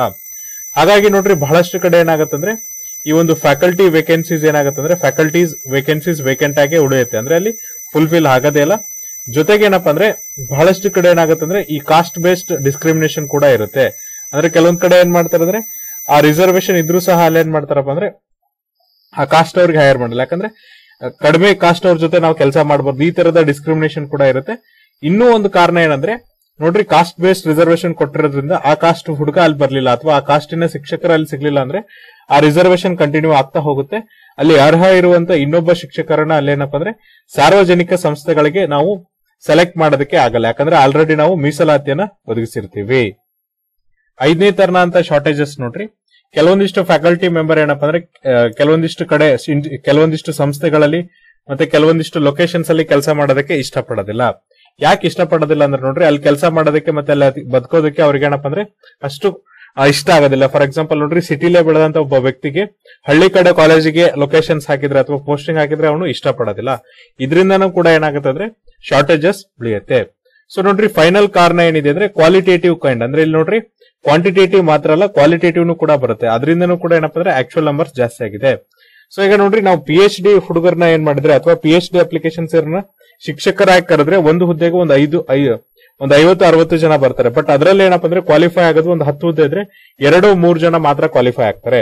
ಅಂದ್ರೆ ಇಲ್ಲಿ ಏನ್ ಹೇಳ್ತಿದ್ರೆ ಅಂದ್ರೆ ಹೆಚ್ಚಿನ ಪಿ ಎಚ್ ಡಿ ಅಪ್ಲಿಕೇಶನ್ಸ್ ಇರುವಂತ ಪರ್ಸನ್ಸ್ ಅಪ್ಲೈ ಮಾಡಿದ್ರು ಸಹ ಏನಾಗ್ತಿದೆ ಅಂದ್ರೆ ಅವರು ಅದನ್ನ ಪಾಸ್ ಮಾಡಕ್ ಆಗ್ತಿಲ್ಲ ಯಾಕಂದ್ರೆ ಅವರ ಒಂದು ಪಿ ಎಚ್ ಡಿ ಪರ್ಫಾರ್ಮೆನ್ಸ್ ಅಥವಾ ಅವರೇನು ಒಂದು ಪಿ ಎಚ್ ಡಿ ಮಾಡ್ಬೇಕಾದ್ರೆ ಒಂದು ಲೆವೆನ್ ಅನ್ನ ನಾಲೆಜ್ ಅನ್ನ ತೆಗೆದುಕೊಟ್ಟಿರ್ತಾರಲ್ಲ, ಆ ನಾಲೆಜ್ ಇಂದ ಏನಪ್ಪಾ ಅಂದ್ರೆ ಶಿಕ್ಷಕರ ಹುದ್ದೆಗೆ ಅವರು ಅರ್ಹರಾಗ್ತಾ ಇಲ್ಲ. ಹಾಗಾಗಿ ನೋಡ್ರಿ, ಬಹಳಷ್ಟು ಕಡೆ ನಾವ್ ಏನ್ ಮಾಡ್ಬೇಕಂದ್ರೆ, ಭಾರತದ ವಿಶ್ವವಿದ್ಯಾಲಯಗಳಲ್ಲಿ ಏನ್ ಪಿ ಎಚ್ ಡಿ ಕೊಡ್ತಿದ್ರಲ್ಲ, ಅವುಗಳ ಕ್ವಾಲಿಟಿಯನ್ನ ಜಾಸ್ತಿ ಮಾಡ್ಬೇಕು. ಅವಾಗ ಮಾತ್ರ ನೋಡ್ರಿ ಅಪ್ಲಿಕೇಶನ್ಸ್ನ ಕರೆದಾಗ ಏನಾಗ್ತಾರೆ ಅಂದ್ರೆ, ಹೆಚ್ಚಿನ ಪಿ ಎಚ್ ಡಿ ವಿದ್ಯಾರ್ಥಿಗಳು ಕ್ವಾಲಿಫೈ ಆಗ್ತಾರೆ. ಈ ತರನಾಗಿ ಒಟ್ಟು ಏನಪ್ಪಾ ಅಂದ್ರೆ, ಆರು ತರನಾದಂತ ವೇಕೆನ್ಸೀಸ್ ಏನಂದ್ರೆ, ಈ ಒಂದು ಉನ್ನತ ಶಿಕ್ಷಣದಲ್ಲಿ ಕಂಡು ಬರುತ್ತೆ ಕೇವಲ ಅಲ್ಲಿ ನಂಬರ್ಸ್ ಮಾತ್ರ ಅಲ್ಲ, ಅದ್ರ ಬದಲಾಗಿ ಆರು ತರನ ಅಂತ ವೇಕೆನ್ಸೀಸ್ ಇಲ್ಲಿ ಕಂಡು ಬರುತ್ತೆ ಅಂತ ಹೇಳಿ ಪುಷ್ಕರ್ ಅವರು ಇಂಟರ್ನ್ಯಾಷನಲ್ ಸೆಂಟರ್ ಗೋವಾ ಇವ್ರು ಏನ್ ಹೇಳಿದಾರೆ ಅಂದ್ರೆ ಈ ತರನಾಗಿ ಕ್ಲಾಸಿಫಿಕೇಶನ್ ಅನ್ನ ಮಾಡಿದ್ದಾರೆ. ನೋಡ್ರಿ, ಅದೇ ತರನಾಗಿ ನಮ್ಮ ನೆಕ್ಸ್ಟ್ ಆರ್ಟಿಕಲ್ ಏನಿದೆ ಅಂದ್ರೆ what is the India done to curb unnecessary hysterectomies so ನೋಡ್ರಿ, ಹಸ್ಟರ್ ಎರೆಕ್ಷನ್ ಅಂತಂದ್ರೆ ಅಂದ್ರೆ ಗರ್ಭಕೋಶದ ಆಪರೇಷನ್ಸ್ ಮಾಡ್ಕೊಡ್ತಾರಲ್ಲ, ಇದ್ರ ಬಗ್ಗೆ ಹೇಳ್ತಿದ್ದಾರೆ. ಇಲ್ಲಿವರೆಗೂ ಭಾರತ ಏನು ಮೆಜರ್ಸ್ ಅನ್ನ ತೆಗೆದುಕೊಂಡಿದೆ? ಯಾವುದಕ್ಕೋಸ್ಕರಪ್ಪ ಅಂದ್ರೆ, ಈ ಒಂದು ಹಿಸ್ಟರ್ ಎರೆಕ್ಷನ್ಸ್ ಇದೆಯಲ್ಲ, ಹಿಸ್ಟರ್ ಎಕ್ಷನ್ಸ್ ಅನ್ನ ಕಮ್ಮಿ ಮಾಡೋದಕ್ಕೋಸ್ಕರ ಏನು ಒಂದಿಷ್ಟು ಕೆಲಸಗಳನ್ನ ಮಾಡಿದೆ. ಅಂದ್ರೆ ಗರ್ಭಕೋಶದ ಆಪರೇಷನ್ಸ್ ಮಾಡಿಸೋದನ್ನ ತಡೆಯೋದಕ್ಕೋಸ್ಕರ ಏನು ಕ್ರಮಗಳನ್ನ ಕೈಕೊಂಡಿದೆ. What guidelines has government put in the place to check the hysterectomy rates. ಅಂದ್ರೆ ನೋಡ್ರಿ, ಸರ್ಕಾರ ಏನೇನ ಗೈಡ್ಲೈನ್ಸ್ ಅನ್ನ ಇಟ್ಟಿದೆ, ಈ ಒಂದು ಗರ್ಭಕೋಶದ ಆಪರೇಷನ್ ಜಾಸ್ತಿ ಆಗದಿರುವ ದರಗಳನ್ನ ಕಮ್ಮಿ ಮಾಡೋದಕ್ಕೆ. What are the treatment options ಅಂದ್ರೆ ಚಿಕಿತ್ಸೆನ ಯಾವ ತರನಾಗಿ ಕೊಡ್ತಾರೆ ಅಂತ ಇಲ್ಲಿ ಕೇಳ್ತಿದ್ದಾರೆ. ಕೇಂದ್ರ ಆರೋಗ್ಯ ಸಚಿವರು ಏನಪ್ಪಾ ಅಂದ್ರೆ ಇತ್ತೀಚೆಗೆ ರಾಜ್ಯ ಸರ್ಕಾರಗಳಿಗೆ ಏನ್ ಹೇಳಿದ್ರು ಅಂದ್ರೆ ನೀವು ಒಂದು ಆಡಿಟ್ ಅನ್ನ ಮಾಡ್ರಿ. ಯಾವ್ದ್ರ ಮೇಲೆ ಅಂದ್ರೆ ಹೈಟರ್ ಎಕ್ಟೋ ಹೈಸ್ಟರ್ ಎಕ್ಟೋಮಿ ಏನಿದೆಲ್ಲ ಇದ್ರ ಮೇಲೆ ಆಡಿಟ್ ಅನ್ನ ಮಾಡ್ರಿ. ಎಸ್ಪೆಷಲಿ ಏನಪ್ಪಾ ಅಂದ್ರೆ ಸಾರ್ವಜನಿಕ ಮತ್ತೆ ಪ್ರೈವೇಟ್ ಹಾಸ್ಟೆಲ್ಗಳಲ್ಲಿ ಯಾಕೆ ಈ ತರನಾಗಿ ಮಾಡ ಅಂತ ಹೇಳ್ತಿದಾರೆ ಅಂದ್ರೆ ಸುಪ್ರೀಂ ಕೋರ್ಟ್ ಅಲ್ಲಿ ನೋಡ್ರಿ ಒಂದು ಮನವಿ ಬಂದಿತ್ತು. ಏನಂದ್ರೆ ಈ ತರನಾಗಿ ಹಿಸ್ಟರ್ ಎಕ್ಟೋನಮಿ ಮಾಡೋದ್ರಿಂದ ಏನಪ್ಪಾ ಅಂದ್ರೆ ಯಾರು ಮಾರ್ಜಿನೈಸ್ಡ್ ಲೊಕೇಶನ್ಸ್ ಅಲ್ಲಿ ಇರುವಂತ ಮಹಿಳೆಯರು ಇರ್ತಾರಲ್ಲ, ಅವರಿಗೆ ಅನ್ಯಾಯ ಆಗ್ತಾ ಇದೆ. ಯಾಕಂದ್ರೆ ಹಿಸ್ಟರ್ ಎಕನಾಮಿಕ್ಸ್ನ ಯಾವ ತರನಾಗಿ ಪರ್ಫಾರ್ಮ್ ಮಾಡ್ತಿದ್ರು ಅಂದ್ರೆ ಆರ್ಥಿಕ ಲಾಭಕ್ಕಾಗಿ ಮತ್ತೆ ಇವರ ಮೇಲೆ ದೌರ್ಜನ್ಯ ಮಾಡೋದಕ್ಕೋಸ್ಕರ ಆಗಿ ಪರ್ಫಾರ್ಮ್ ಅನ್ನ ಮಾಡ್ತಿದ್ದಾರೆ. ಅಂದ್ರೆ, ಈ ಹಿಸ್ಟರ್ ಎಕನಾಮಿನ ಮಾಡ ಹೈಸ್ಟರ್ ಎಕನಾಮಿನ ಹೈಸ್ಟರ್ ಎಕನಾಮಿನ ಮಾಡೋದ್ರಿಂದ ನೋಡ್ರಿ, ಆರ್ಥಿಕ ಲಾಭ ಆಗುತ್ತೆ ಮತ್ತೆ ಈ ಒಂದು ಮಹಿಳೆಯರನ್ನ ದೌರ್ಬಳಕೆಯನ್ನ ಮಾಡ್ತಿದ್ದಾರೆ. ಯಾರು? ಮಿಡಲ್ ಮ್ಯಾನ್ ದೌರ್ಬಳಕೆ ಮಾಡ್ತಿದ್ದಾರೆ. ಹಾಗಾಗಿ ಇವುಗಳ ಮೇಲೆ ನೀವು ಆಡಿಟ್ ಅನ್ನ ಮಾಡ್ಬೇಕಂತ ಹೇಳಿದ್ರು. ಜೊತೆಗೆ ನೋಡ್ರಿ ಸುಪ್ರೀಂ ಕೋರ್ಟ್ ಏನ್ ಮಾಡಿದೆ ಅಂದ್ರೆ ಮೂರು ತಿಂಗಳ ಡೆಡ್ ಲೈನ್ ಅನ್ನ ಕೊಟ್ಟಿದ್ರು ರಾಜ್ಯ ಸರ್ಕಾರಗಳಿಗೆ. ಏನಂದ್ರೆ, ಅವ್ರೇನ್ ಗೈಡ್ ಲೈನ್ಸ್ ಅನ್ನ ಕೊಟ್ಟಿದಾರಲ್ಲ ಆಮೇಲೆ ಅವ್ರು ಕೊಟ್ಟಿರೋದಿರ್ಬೋದು, ಕೇಂದ್ರ ಸರ್ಕಾರ ಕೊಟ್ಟಿರುವಂತ ಗೈಡ್ಲೈನ್ಸ್ ಅನ್ನ ಮೂರು ತಿಂಗಳಲ್ಲಿ ನೀವು ಇಂಪ್ಲಿಮೆಂಟ್ ಮಾಡ್ಬೇಕಂತ ಹೇಳಿ ಟಾರ್ಗೆಟ್ ಅನ್ನ ಕೊಟ್ಟಿದ್ದಾರೆ. ಈ ಹಿಸ್ಟೋರ್ ಆಗ್ಬೇಕಾದ್ರೆ ಏನ್ ಕ್ರೈಟೀರಿಯಾ ಇರ್ಬೇಕಂದ್ರೆ, ಸೊ ನೋಡ್ರಿ ಹಿಸ್ಟೋರ್ ಯಾಕೆ ಮಾಡ್ತಾರಪ್ಪ ಅಂದ್ರೆ ಎಸ್ಪೆಷಲಿ ಏನಪ್ಪ ಅಂದ್ರೆ, ಈ ನೋಡ್ರಿ ಐವತ್ತೊಂದು ಪಾಯಿಂಟ್ ಎಂಟು ಪರ್ಸೆಂಟ್ ಜನರು ಹಿಸ್ಟೋರ್ ಎಕ್ಟೋನಮಿನ ಮಾಡೋದು, ಅಂದ್ರೆ ಗರ್ಭಚೀಲದ ಆಪರೇಷನ್ಸ್ನ ಮಾಡೋದು ಮುಖ್ಯ ಕಾರಣ ಏನಂದ್ರೆ, ಅಲ್ಲಿ ಮಿನಿಸ್ಟ್ರಲ್ ಬ್ಲೀಡಿಂಗ್ ಮತ್ತೆ ಅದರಲ್ಲಿ ಏನ್ ನೋವಾಗ್ತಿರುತ್ತಲ್ಲ, ಅದ್ರ ಸಂಬಂಧ ಮಾಡ್ತಾರೆ. ಇನ್ ಇಪ್ಪತ್ನಾಲ್ಕು ಪಾಯಿಂಟ್ ತೊಂಬತ್ನಾಲ್ಕು ಪರ್ಸೆಂಟ್ ನೋಡ್ರಿ ಫೈಬ್ರೋಯ್ಡ್ಸ್ ಫೈಬ್ರೋಯ್ಡ್ಸ್ ಅಂದ್ರೆ ಏನಪ್ಪ ಅಂದ್ರೆ ಈ ಕ್ಯಾನ್ಸರ್ ಅಲ್ಲದ ಒಂದು ಗಡ್ಡೆ ಗರ್ಭಚೀಲದಲ್ಲಿ ಬೆಳೆಯುತ್ತೆ. ಇದನ್ನ ತೆಗೆಯೋದಕ್ಕೋಸ್ಕರ ಏನ್ ಮಾಡ್ತಾರೆ ಅಂದ್ರೆ ಇಪ್ಪತ್ನಾಲ್ಕು ಪಾಯಿಂಟ್ ತೊಂಬತ್ನಾಲ್ಕು ಪರ್ಸೆಂಟ್ ಏನ್ ಮಾಡ್ತಾರಪ್ಪ ಅಂದ್ರೆ ಈ ಒಂದು ಗರ್ಭಚೀಲದ ಆಪರೇಷನ್ಸ್ನ ಮಾಡಿದ್ರೆ ಇನ್ ಇಪ್ಪತ್ನಾಲ್ಕು ಪಾಯಿಂಟ್ ತೊಂಬತ್ನಾಲ್ಕು ಪರ್ಸೆಂಟ್ ಜನ ನೋಡ್ರಿ ಒಂಬತ್ತು ನಾಲ್ಕು ಪರ್ಸೆಂಟ್ ಸಿಸ್ಟಸ್ ಸಿಸ್ಟಸ್ ಅಂದ್ರೆ ಏನಂದ್ರೆ ಗರ್ಭಚೀಲದಲ್ಲಿ ನೀರು ತುಂಬಿಕೊಳ್ಳೋದಕ್ಕೆ ಅಥವಾ ಲಿಕ್ವಿಡ್ ತುಂಬಿಕೊಳ್ಳೋದಕ್ಕೆ ಸಿಸ್ಟಸ್ ಅಂತ ಕರಿತೀವಿ. ಇದನ್ನ ತಲುಗಿಸೋದಕ್ಕೋಸ್ಕರ ಅಥವಾ ಇದನ್ನ ಈ ಸಮಸ್ಯೆಗೆ ಪರಿಹಾರ ಮಾಡ್ಕೊಳ್ಳೋದಕ್ಕೋಸ್ಕರ ಗರ್ಭಚೀಲದ ಆಪರೇಷನ್ಸ್ನ ಮಾಡ್ಕೋತಾರೆ. ಇನ್ನು ಹನ್ನೊಂದು ಪಾಯಿಂಟ್ ಎಂಟು ಪರ್ಸೆಂಟ್ ಜನ ಏನ್ ಮಾಡ್ತಾರಪ್ಪ ಅಂದ್ರೆ ಯುಟರೈನ್ ಡಿಸಾರ್ಡರ್ ಅಥವಾ ರೆಪ್ಚರ್ ಅಂದ್ರೆ ಈಗ ನೋಡ್ರಿ ಗರ್ಭ ಚೀಲದಲ್ಲಿ ಏನಾದ್ರೂ ಗಾಯಗಳಾಗಿದ್ರೆ ಅಥವಾ ಅಲ್ಲಿ ಡಿಸಾರ್ಡರ್ ಇದ್ರೆ ಅದ್ರ ಸಂಬಂಧ ಏನ್ ಮಾಡ್ತಾರಪ್ಪ ಅಂದ್ರೆ, ಈ ಒಂದು ಹಿಸ್ಟರ್ ಎಕ್ಟೋಮಿಕ್ಸ್ ಅನ್ನ ಮಾಡಿಸ್ಕೋತಾರೆ. ಇದು ಏನಪ್ಪಾ ಅಂದ್ರೆ national family health survey five ದತ್ತಾಂಶದ ಪ್ರಕಾರ. ಆದ್ರೆ ನೋಡ್ರಿ ಬಹಳಷ್ಟು ವರದಿಗಳು ಏನ್ ಹೇಳ್ತಾವ ಅಂದ್ರೆ, ಈ ಒಂದು ರೋಗಗಳೇನಿದೆ, ಇವುಗಳನ್ನ ಏನ್ ಮಾಡ್ಬೋದಪ್ಪ ಅಂದ್ರೆ ಸರ್ಜರಿ ಇಲ್ದೇನೆ ಕೂಡ ಕ್ಯೂರ್ ಮಾಡ್ಬೋದು. ಅಂದ್ರೆ ಅಲ್ಲಿ ನಾವು ಶಸ್ತ್ರಚಿಕಿತ್ಸೆಯನ್ನು ಮಾಡದೇನು ಕೂಡ ಏನಂದ್ರೆ, ಇವುಗಳ ವಾಸಿ ಮಾಡಬಹುದಾಗಿದೆ ಅವುಗಳನ್ನ ಅವಾಯ್ಡ್ ಮಾಡಬಹುದಾಗಿದೆ ಆದ್ರೆ, ಇಲ್ಲೇನ್ ಮಾಡ್ತಿದಾರಪ್ಪ ಅಂದ್ರೆ ಶಸ್ತ್ರಚಿಕಿತ್ಸೆನ ಮಾಡ್ತಿದ್ದಾರೆ. ಜೊತೆಗೆ ನೋಡ್ರಿ ಮೆಜಾರಿಟಿ ಆಫ್ ದ ಕೇಸಸ್ ಅನ್ನ ತೆಗೆದುಕೊಂಡಾಗ, ಅಂದ್ರೆ ಈ ಒಂದು ಹಿಸ್ಟರ್ ಎಕ್ಟೋಮಿಕ್ಸ್ ಏನಾಗ್ತಿದಲ್ಲ, ಈ ಕೇಸಸ್ ಅನ್ನ ತೆಗೆದುಕೊಂಡಾಗ ಇವುಗಳೇನಪ್ಪ ಅಂದ್ರೆ, ಯಾರು ಸಾಮಾಜಿಕವಾಗಿ ಮತ್ತೆ ಆರ್ಥಿಕವಾಗಿ ಹಿಂದುಳಿದಂತ ವರ್ಗದಿಂದ ಬಂದಂತ ಮಹಿಳೆಯರಾಗಿದ್ದಾರಲ್ಲ ಅವರಲ್ಲಿ ಜಾಸ್ತಿ ಆಗಿದೆ. ಯಾಕೆ ಇವುಗಳನ್ನ ಮಾಡ್ತಿದ್ದಾರೆ ಅಂದ್ರೆ ಯಾಕೆ ಈ ತರನಾಗಿ ಮಾಡ್ತಿದ್ದಾರೆ ಅಂದ್ರೆ ಪ್ರೈವೇಟ್ ಕ್ಲಿನಿಕ್ಸ್ ಅವ್ರು ಏನ್ ಮಾಡ್ತಾರಪ್ಪ ಅಂದ್ರೆ, ಈ ತರನಾಗಿ ಮಾಡ್ತಿದ್ದಾರೆ. ಯಾಕೆ ಈ ತರನ ಮಾಡ್ತಾರೆ ಅಂದ್ರೆ ಅಲ್ಲಿ ಪ್ರಾಫಿಟ್ ಬರೋದಕ್ಕೋಸ್ಕರ. ಈಗ ನೋಡ್ರಿ, ಪ್ರಧಾನ ಮಂತ್ರಿಗಳು ಏನಪ್ಪಾ ಅಂದ್ರೆ, ಈ ಒಂದು ಆಯುಷ್ ಯೋಜನೆ ಒಳಗೆ ಐದು ಲಕ್ಷ ಇನ್ಸೂರೆನ್ಸ್ ಏನ್ ಹಣ ಬರುತ್ತಲ್ಲ, ಆ ಹಣವನ್ನ ತೆಗೆದುಕೊಳ್ಳೋಕೋಸ್ಕರ ಏನಂದ್ರೆ ಪ್ರೈವೇಟ್ ಕ್ಲಿನಿಕ್ಸ್ ಈ ತರನಾಗಿ ಮಾಡ್ತಾ ಇದ್ದಾರೆ. ಅಥವಾ ಈ ಒಂದು ಕಾಂಟ್ರಾಕ್ಟರ್ ಎಸ್ಪೆಷಲಿ ಅನ್ಆರ್ಗನೈಸ್ ಸೆಕ್ಟರ್ ಅಲ್ಲಿ ಕೆಲಸ ಮಾಡುವಂತ ಕಾಂಟ್ರಾಕ್ಟರ್ ಎಲ್ಲಂತಂದ್ರೆ ಒಂದು ಎಕ್ಸಾಂಪಲ್ ಕೊಡ್ತಾ ಹೋಗ್ತಾರೆ ನೋಡ್ರಿ ಶುಗರ್ ಕೇನ್ ಕಟ್ಟಿಂಗ್ ಇಂಡಸ್ಟ್ರೀಸ್ ಅಂದ್ರೆ ಈಗ ಕಬ್ಬು ಕಡೆಯಕ್ ಬರ್ತಾರಂತ ನಾವೇನ್ ಕರಿತೀವಲ್ಲ, ಈ ಕಬ್ಬು ಕಡೆಯಕ್ ಬರುವಂತ ಜನರಲ್ಲಿ, ಅಂದ್ರೆ ಅಲ್ಲಿ ನೋಡ್ರಿ ಉಮ್ಲೆಸ್ ವುಮೆನ್ಸ್ ಅಂದ್ರೆ ಗರ್ಭಚೀಲದಲ್ಲಿರುವಂತ ಮಹಿಳೆಯರಿಗೆ ಹೆಚ್ಚಿನ ಒಂದು ಪ್ರಿಫರೆನ್ಸ್ ಅನ್ನ ಕೊಡ್ತಾರೆ. ಯಾಕಂದ್ರೆ ಮೆನಿಸ್ಟ್ರಲ್ ಕೇರಿಗಾಗ್ಲಿ ಅಥವಾ ಅದರ ಹೈಜೀನ್ ಬಗ್ಗೆ ಏನಪ್ಪಾ ಅಂದ್ರೆ, ಆ ವರ್ಕರ್ಸ್ ಅಲ್ಲಿ ಹೆಚ್ಚಿನ ಕಾಳಜಿಯನ್ನ ತೆಗೆದುಕೊಳ್ತಾ ಹೋದ್ರೆ ಅವರ ಒಂದು ಪ್ರೊಡಕ್ಟಿವಿಟಿ ಮೇಲೆ ಏನಂದ್ರೆ ಎಫೆಕ್ಟ್ ಬೀಳುತ್ತೆ ಅನ್ನೋದು ಒಂದೇ ಒಂದು ಕಾರಣಕ್ಕೋಸ್ಕರ ಎಲ್ಲ ಏನ್ ಮಾಡ್ತಾರೆ ಅಂದ್ರೆ ಈ ವುಮ್ಲೆಸ್ ವುಮೆನ್ ಅಥವಾ ಗರ್ಭಚಿಲ್ಲದ ಇಲ್ಲದಿರುವಂತಹ ಮಹಿಳೆಯರನ್ನ ಹುಡುಕ್ತಿರ್ತಾರೆ. ಯಾಕಂದ್ರೆ ಈ ಒಂದು ಮೆನಿಸ್ಟ್ರಲ್ ಕೇರ್ ಮತ್ತೆ ಹೈಜೀನ್ ಅನ್ನ ಎಲಿಮಿನೇಟ್ ಮಾಡಿದ್ರೆ ಅವರು ಕೂಡ ಅಂದ್ರೆ ಪುರುಷರ ಹತ್ರನೇ ಕೆಲಸ ಮಾಡಬಹುದಾಗಿದೆ ಈ ಒಂದು ಕಾರಣಕ್ಕಾಗಿ ಒಂದು ಪ್ರೈವೇಟ್ ಕ್ಲಿನಿಕ್ ಅವ್ರು ಮಾಡ್ತಾರೆ. ಇನ್ನೊಂದೇನಪ್ಪ ಅಂದ್ರೆ ಅನ್ಆರ್ಗನೈಸ್ಡ್ ಕಾರ್ಪೊರೇ ಕಾಂಟ್ರಾಕ್ಟರ್ಸ್ ಏನ್ ಮಾಡ್ತಾರೆ ಅಂದ್ರೆ ಅನ್ಆರ್ಗನೈಸ್ಡ್ ಕಾಂಟ್ರಾಕ್ಟರ್ಸ್ ಏನ್ ಅನ್ಆರ್ಗನೈಸ್ಡ್ ಸೆಕ್ಟರ್ ಅಲ್ಲಿ ಕೆಲಸ ಮಾಡ್ತಾರಲ್ಲ, ಅವರು ಈ ತರನಾಗಿ ಏನಪ್ಪಾ ಅಂದ್ರೆ ಹಿಸ್ಟೋರಿ ಎಕನಾಮಿಕ್ಸ್ ಅನ್ನ ಮಾಡಿಸ್ತಿದ್ದಾರೆ. ಹಾಗಾದ್ರೆ ಸರ್ಕಾರ ಇದಕ್ಕೇನಾದ್ರೂ ಮೆಜರ್ಸ್ ಅನ್ನ ತೆಗೆದುಕೊಂಡಿಲ್ವಾ, ಪರಿಹಾರಗಳನ್ನ ತೆಗೆದುಕೊಳ್ಳಿಲ್ಲ ಅಂದ್ರೆ? ನೋಡ್ರಿ, ಕೇಂದ್ರ ಸರ್ಕಾರ ಎರಡ್ ಸಾವಿರದ ಇಪ್ಪತ್ತೆರಡರಲ್ಲಿ ಕೆಲವೊಂದಿಷ್ಟು ಗೈಡ್ಲೈನ್ಸ್ ಅನ್ನ ಬಿಟ್ಟಿದೆ. ಯಾವ್ದಕ್ಕೋಸ್ಕರಪ್ಪ ಅಂದ್ರೆ ಅನ್ನೆಸೆಸರಿ ಆಗಿ ನೀವೇನಪ್ಪ ಅಂದ್ರೆ ಹಿಸ್ಟೋರ್ ಎಕನಾಮಿಕ್ಸ್ನ ಮಾಡ್ಕೋಬೇಡ್ರಿ ಅಂತ. ನೋಡ್ರಿ, ಕೆಲವೊಂದಿಷ್ಟು ಇಂಡಿಕೇಟರ್ಸ್ನ ಕೊಟ್ಟಿದ್ದಾರೆ. ಯಾವಾಗ ಯಾವಾಗ ನೀವೇನಪ್ಪ ಅಂದ್ರೆ ಹಿಸ್ಟೋರ್ ಎಕನಾಮಿಕ್ಸ್ನ ಮಾಡ್ಕೋಬೇಕು? ಯಾವಾಗ ಯಾವಾಗ ಅಲ್ಟರ್ನೇಟಿವ್ ಕ್ಲಿನಿಕಲ್ ಟ್ರೀಟ್ಮೆಂಟ್ ಅಂದ್ರೆ ಈ ಹಿಸ್ಟೋರೆಕ್ಟಾಮಿಕ್ಸ್ನ ಬಿಟ್ಟು ಗರ್ಭಚೀಲದ ಆಪರೇಷನ್ಸ್ನ ಬಿಟ್ಟು ಬೇರೆ ಆಪರೇಷನ್ಸ್ ಮಾಡ್ಕೊಳ್ಳೋದಕ್ಕೆ ಅಥವಾ ಬೇರೆ ತರನಾದ ಚಿಕಿತ್ಸೆ ತೆಗೆದುಕೊಳ್ಳೋಕೆ ಗೈನೋಕಾಲಜಿಸ್ ಇಶ್ಯೂಸ್ ಏನಿದೆ, ಅದ್ರ ಮೂಲಕ ನಿಮಗೆ ಪರಿಹಾರವನ್ನು ಕೊಡೋಕೆ ಮಾಡಿದ್ದಾರೆ. ಆದ್ರೆ, ಇಲ್ಲಿ ನೋಡ್ರಿ ನೆಕ್ಸ್ಟ್ ಏನ್ ಹೇಳಿದ್ದಾರೆ ಅಂದ್ರೆ ಈ ಒಂದು ರಾಜ್ಯ, ಕೇಂದ್ರ ಮತ್ತೆ ಏನಪ್ಪಾ ಅಂದ್ರೆ ರಾಷ್ಟ್ರ ಮಟ್ಟದಲ್ಲಿ ಏನಪ್ಪಾ ಅಂದ್ರೆ ಹಿಸ್ಟೋ, ಹಿಸ್ಟೋರೆಕ್ಟಾಮಿ ಮಾನಿಟರಿಂಗ್ ಕಮಿಟಿಯನ್ನ ಸ್ಥಾಪನೆ ಮಾಡ್ಬೇಕಂತ ಹೇಳಿದ್ದಾರೆ. ಸೊ ನೋಡ್ರಿ, ಈ ಕಮಿಟಿ ಏನ್ ಮಾಡತ್ತಪ್ಪ ಅಂದ್ರೆ ಫಸ್ಟ್ ನಿಯಂತ್ರಣ ಮಾಡುತ್ತೆ ಜೊತೆಗೆ ದತ್ತಾಂಶವನ್ನ ಕಲೆಕ್ಟ್ ಮಾಡುತ್ತೆ ಎಸ್ಪೆಷಲಿ ಯಾವ್ದ್ರ ಮೇಲೆ ಅಂದ್ರೆ ಅವ್ರಿಗಿರುವ ಏಜ್ ಮೊರಾಲಿಟಿ ಆಕ್ಯುಪೇಷನ್ಸ್ ಅಂದ್ರೆ ಅವ್ರಿಗೆ ಎಷ್ಟು ವಯಸ್ಸು, ಈ ಹಿಸ್ಟೋರ್ ಎಕ್ಟೋಮಿನ ಮಾಡಿಸಿದ್ರೆ ಏನು ಸಾವುಗಳಾಗುತ್ತಾ, ಸಾವು ನೋವುಗಳಾಗುತ್ತಾ, ಅದ್ರ ಮೇಲೆ ದತ್ತಾಂಶವನ್ನ ಕಲೆಕ್ಟ್ ಮಾಡುತ್ತೆ. ಏನ್ ಕೆಲಸಗಳನ್ನ ಮಾಡ್ತಾರೆ ಅಥವಾ ಅವರ ಆಕ್ಯುಪೇಷನ್ಸ್ ಏನು, ಅವ್ರ ಹೌಸ್ ವೈಫ್ ಇದಾರ ಟೀಚರ್ಸ್ ಇದಾರ ಇಂಜಿನಿಯರ್ ಇದಾರ, ಇದನ್ನ ತಿಳ್ಕೊಳ್ಳುತ್ತೆ ಈ ಎಲ್ಲ ಡಾಟಾವನ್ನ ತಿಳ್ಕೊಳ್ಳೋದಕ್ಕೋಸ್ಕರ ನೋಡ್ರಿ. ಜಿಲ್ಲಾ, ರಾಜ್ಯ ಮತ್ತೆ ಕೇಂದ್ರ ಮಟ್ಟದ ಏನಪ್ಪಾ ಅಂದ್ರೆ ಮಾನಿಟರಿಂಗ್ ಕಮಿಟಿಯನ್ನ ಮಾಡ್ಬೇಕಂತ ಹೇಳಿದ್ದಾರೆ. ಆದ್ರೆ ಮಾನಿಟರಿಂಗ್ ಕಮಿಟಿ ಏನಪ್ಪಾ ಅಂದ್ರೆ ಇನ್ನೂ ಒಂದು ಟಾಸ್ಕ್ ಅನ್ನ ಕೊಟ್ಟಿದ್ದಾರೆ. ಏನಂದ್ರೆ ಅಲ್ಲಿ ಅವೇರ್ನೆಸ್ ಅನ್ನ ಮೂಡಿಸ್ರಿ. ಜನರಿಗೆ ಇದ್ರ ಬಗ್ಗೆ ಏನಪ್ಪ ಅಂದ್ರೆ ಇನ್ನೂ ಹೆಚ್ಚಿನ ಮಾಹಿತಿಯನ್ನ ಕೊಡ್ರಿ. ಎಸ್ಪೆಷಲಿ ಯಾರೆಲ್ಲ ಪೇಷಂಟ್ಸ್ ಇದ್ದಾರೆ ಅವ್ರಿಗಿರ್ಬೋದು ಮತ್ತೆ ಯಾರು ಭಾಗವಹಿಸ್ತಾರಲ್ಲ ಅವ್ರಿಗೂ ಕೂಡ ಹೆಚ್ಚಿನ ಮಾಹಿತಿಯನ್ನ ಕೊಡ್ರಿ. ಎಸ್ಪೆಷಲಿ ಏನಂದ್ರೆ ನಮ್ಮ ದೇಹದ ಒಂದು ಅನಾಟಮಿ ಬಗ್ಗೆ, ಅಂದ್ರೆ ನಮ್ಮ ದೇಹದ ರಚನೆ ಯಾವ ತರನಾಗಿದೆ, ಅದು ಯಾವ ತರನಾಗಿ ಕೆಲಸ ಮಾಡುತ್ತೆ ಅನ್ನೋದ್ರ ಬಗ್ಗೆ ಹೆಚ್ಚಿನ ಮಾಹಿತಿಯನ್ನ ಕೊಡ್ರಿ. ಜೊತೆಗೆ ನೋಡ್ರಿ ಗರ್ಭಚೀಲ ಮತ್ತೆ ಹಿಸ್ಟೋರೆಕ್ಟಾಮಿಕ್ಸ್ ಯಾವ ತರನಾಗಿ ಕೆಲಸ ಮಾಡುತ್ತೆ ಅನ್ನೋದ್ರ ಬಗ್ಗೆನೂ ಕೂಡ ಹೇಳ್ರಿ. ಎರಡ್ ಸಾವಿರದ ಹದಿನೇಳರಲ್ಲಿ ಒಂದು ವರದಿ ಬಂದಿತ್ತು ಗುಜರಾತ್ ಇಂದ ಅಲ್ಲಿ ನೋಡ್ರಿ, ಹೆಚ್ಚಿನ ಮಹಿಳೆಯರು ಎನ್ಕೊಂಡಿದ್ರಪ್ಪ ಅಂದ್ರೆ ಗರ್ಭಚೀಲದ ಒಂದು ಪರ್ಪಸ್ ಯಾವಾಗಿದೆ ಅಂದ್ರೆ ಈಗ ಒಂದು ಪ್ರೆಗ್ನೆಂಟ್ ಆದ್ಮೇಲೆ ಮಕ್ಕಳನ್ನ ಹಡದ್ಮೇಲೆ ಏನಂದ್ರೆ ಗರ್ಭಚೀಲದ ಅವಶ್ಯಕತೆ ಇಲ್ಲ. ಗರ್ಭಚೀಲ ನಮ್ಗೆ ಬೇಕಾಗಿಲ್ಲ. ಯಾಕಂದ್ರೆ ಅದಿರೋದು ಕೇವಲ ಏನಪ್ಪಾ ಅಂದ್ರೆ ಪ್ರೆಗ್ನೆನ್ಸಿಗೆ ಮತ್ತೆ ಏನಪ್ಪಾ ಅಂದ್ರೆ ಅದು ಅವಾಗ ಮಾತ್ರ ಇರುತ್ತೆ. ಅದು ಬಿಟ್ಟು ಬೇರೆದಕ್ಕೆ ಅದು ಯೂಸ್ ಇಲ್ಲ ಅಂತ ಹೇಳಿ ಏನಂದ್ರೆ ಮಹಿಳೆಯರಲ್ಲಿ ಒಂದು ಅಸಂಪ್ಷನ್ ಮಾಡಿದ್ರು. ಅವ್ರೇನ್ ಅನ್ಕೊಂಡಿದ್ರು ಅಂದ್ರೆ ನಾವೇನಾದ್ರೂ ಗರ್ಭಚೀಲವನ್ನ ತೆಗೆದ್ರೆ ನಮಗೇನೀಗ ಆರೋಗ್ಯದ ಸಮಸ್ಯೆಗಳಿದೆ. ಎಸ್ಪೆಷಲಿ ಮೆನಿಸ್ಟ್ರಲ್ ಹೆಲ್ತಿನ ಸಮಸ್ಯೆಗಳೇನಿದೆ ಅಲ್ಲ ಅದು ಕಂಪ್ಲೀಟ್ ಆಗಿ ನಿಂತು ಹೋಗುತ್ತೆ. ಯಾಕೆ ಈ ತರನಾಗ ಆಗ್ತಿದೆ ಅಂದ್ರೆ ಸೊ ನೋಡ್ರಿ, ಅಲ್ಲಿ ಆ ಒಂದು ಗರ್ಭಚೀಲದ ಬಗ್ಗೆ ಇರುವಂತ ಮಾಹಿತಿ ಏನಪ್ಪಾ ಅಂದ್ರೆ ತುಂಬಾ ಕಮ್ಮಿ ಇದೆ. ಎಕ್ಸ್ಪರ್ಟ್ಸ್ ಏನ್ ಹೇಳ್ತಿದ್ದಾರೆ ಅಂದ್ರೆ, ನಮ್ಮ ದೇಶದಲ್ಲಿ ನೋಡ್ರಿ ಸೆಕ್ಷುವಲ್ ಮತ್ತೆ ರೀಪ್ರೊಡಕ್ಟಿವ್ ಹೆಲ್ತ್ ಎಜುಕೇಶನ್ಸ್ ಅಂದ್ರೆ, ಯಾವ ತರನಾಗಿ ನೋಡ್ರಿ, ಈ ಒಂದು ರೀಪ್ರೊಡಕ್ಟಿವ್ ಆರೋಗ್ಯವನ್ನ ಕಾಪಾಡ್ಕೋಬೇಕು ಮತ್ತೆ ಸೆಕ್ಷುವಲ್ ಹೆಲ್ತ್ ಯಾವ ತರನಾಗಿರ್ಬೇಕು ಇದ್ರ ಬಗ್ಗೆ ಮಾಹಿತಿ ಕಮ್ಮಿ ಇರೋದ್ರಿಂದ ಏನಂದ್ರೆ ಇನ್ಫಾರ್ಮ್ ಕನ್ಸೆಂಟ್ ಅಂದ್ರೆ ಈಗ ನೋಡ್ರಿ, ಒಬ್ಬ ಮಹಿಳೆಗೆ ನಾವೇನಾದ್ರೂ ಗರ್ಭಚೀಲದ ಆಪರೇಷನ್ಸ್ನ ಮಾಡ್ಬೇಕಾದ್ರೆ ಇನ್ಫಾರ್ಮ್ ಕನ್ಸೆಂಟ್ ಅಂದ್ರೆ ಈಗ ಹೇಳಿ ನಾವು ಸಹಿಯನ್ನ ತೆಗೆದುಕೊಳ್ಬೇಕಲ್ಲ, ಅದನ್ನ ತೆಗೆದುಕೊಂಡ್ರು ಕೂಡ ಏನಪ್ಪಾ ಅಂದ್ರೆ ಅದು ಪ್ರಯೋಜನ ಆಗಲ್ಲ ಅಂತ ಹೇಳ್ತಿದ್ದಾರೆ. ಯಾಕಂದ್ರೆ ನಾವಿಲ್ಲಿ ಮಾ- ಏನ್ ಮಾಡ್ತಿದ್ವಿ ಅಂದ್ರೆ ಮಹಿಳೆಯರಿಗೆ ಆ ಸೆಕ್ಷುವಲ್ ಮತ್ತೆ ರೀಪ್ರೊಡಕ್ಟಿವ್ ಶಿಕ್ಷಣದ ಹೆಲ್ತ್ ಆರೋಗ್ಯದ ಶಿಕ್ಷಣವನ್ನ ನಾವಿಲ್ಲಿ ಕೊಡ್ತಾ ಇಲ್ಲ. ಹಾಗಾಗಿ ನೀವು ಇನ್ಫಾರ್ಮ್ ಕನ್ಸೆಂಟ್ ಅನ್ನ ತೆಗೆದುಕೊಂಡ್ರು ಅದೇನಪ್ಪ ಅಂದ್ರೆ ಪ್ರಯೋಜನ ಆಗಲ್ಲ ಅಂತ ಅವರು ಹೇಳಿದ್ದಾರೆ. ಎರಡ್ ಸಾವಿರದ ಹತ್ತೊಂಬತ್ತರ ಒಂದು ತನಿಖೆಯ ಪ್ರಕಾರ ನೋಡ್ರಿ, ಬಹಳಷ್ಟು ಮಹಿಳೆಯರು ಎಸ್ಪೆಷಲಿ ಎಲ್ಲಿಂದಪ್ಪ ಅಂದ್ರೆ ಈ ಒಂದು ಹಳ್ಳಿ ಪ್ರದೇಶದಿಂದ ಏನ್ ಬರ್ತಾರಲ್ಲ, ಈ ಮಹಿಳೆಯರು ಏನ್ ಮಾಡ್ತಾರೆ ಅಂದ್ರೆ ಗರ್ಭಚೀಲದ ಆಪರೇಷನ್ಸ್ನ ಮಾಡ್ತಾರೆ. ಯಾಕೆ ಈ ಗರ್ಭಚೀಲದ ಆಪರೇಷನ್ಸ್ನ ಮಾಡ್ಕೋತಾರಪ್ಪ ಅಂದ್ರೆ, ಅವರ ಒಂದು ಪ್ರೊಡಕ್ಟಿವಿಟಿ ಏನಿದೆ ಅಂದ್ರೆ ಅವರ ಒಂದು ಉತ್ಪಾದಕತೆಯನ್ನು ಜಾಸ್ತಿ ಮಾಡ್ಕೊಳ್ಳೋದಕ್ಕೆ ಮತ್ತೆ ಹೆಚ್ಚಿನ ಒಂದು ವೇಜಸ್ ಅನ್ನ ಅರ್ನ್ ಮಾಡೋದಕ್ಕೆ ಅಥವಾ ಹೆಚ್ಚಿನ ಒಂದ್ ಏನಪ್ಪ ಅಂದ್ರೆ ದಿನಗೂಲಿ ಇರ್ಬೋದು ಅಥವಾ ಸಂಬಳವನ್ನ ಜಾಸ್ತಿ ಮಾಡೋದಕ್ಕೋಸ್ಕರ ಈ ಗರ್ಭಚೀಲವನ್ನ ರಿಮೂವ್ ಮಾಡ್ತಾರೆ. ಸೊ ನೋಡ್ರಿ ಒನ್ ಸೈಡ್ ಪೇಷಂಟ್ಸ್ ಏನಪ್ಪ ಅಂದ್ರೆ ಯಾವುದೇ ತರನಂತ ಮೆಡಿಕಲ್ ಕೇರ್ ಕೂಡ ಬೇಡ. ಆಮೇಲೆ ಅದ್ರ ಮೇಲೆ ಆಗುವಂತ ಸಮಸ್ಯೆಗಳು ಕೇಳುವಂತ ಪೇಷಂಟ್ಸ್ ಇಲ್ಲ.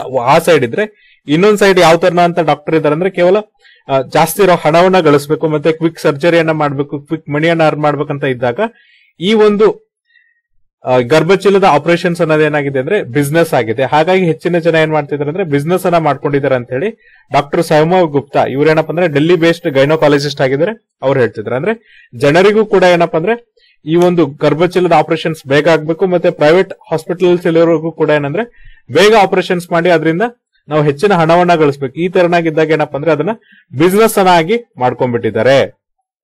ಕೇಂದ್ರ ಸರ್ಕಾರದ ಆರೋಗ್ಯ ವಿಮೆ ಆದಂತ ನೋಡ್ರಿ.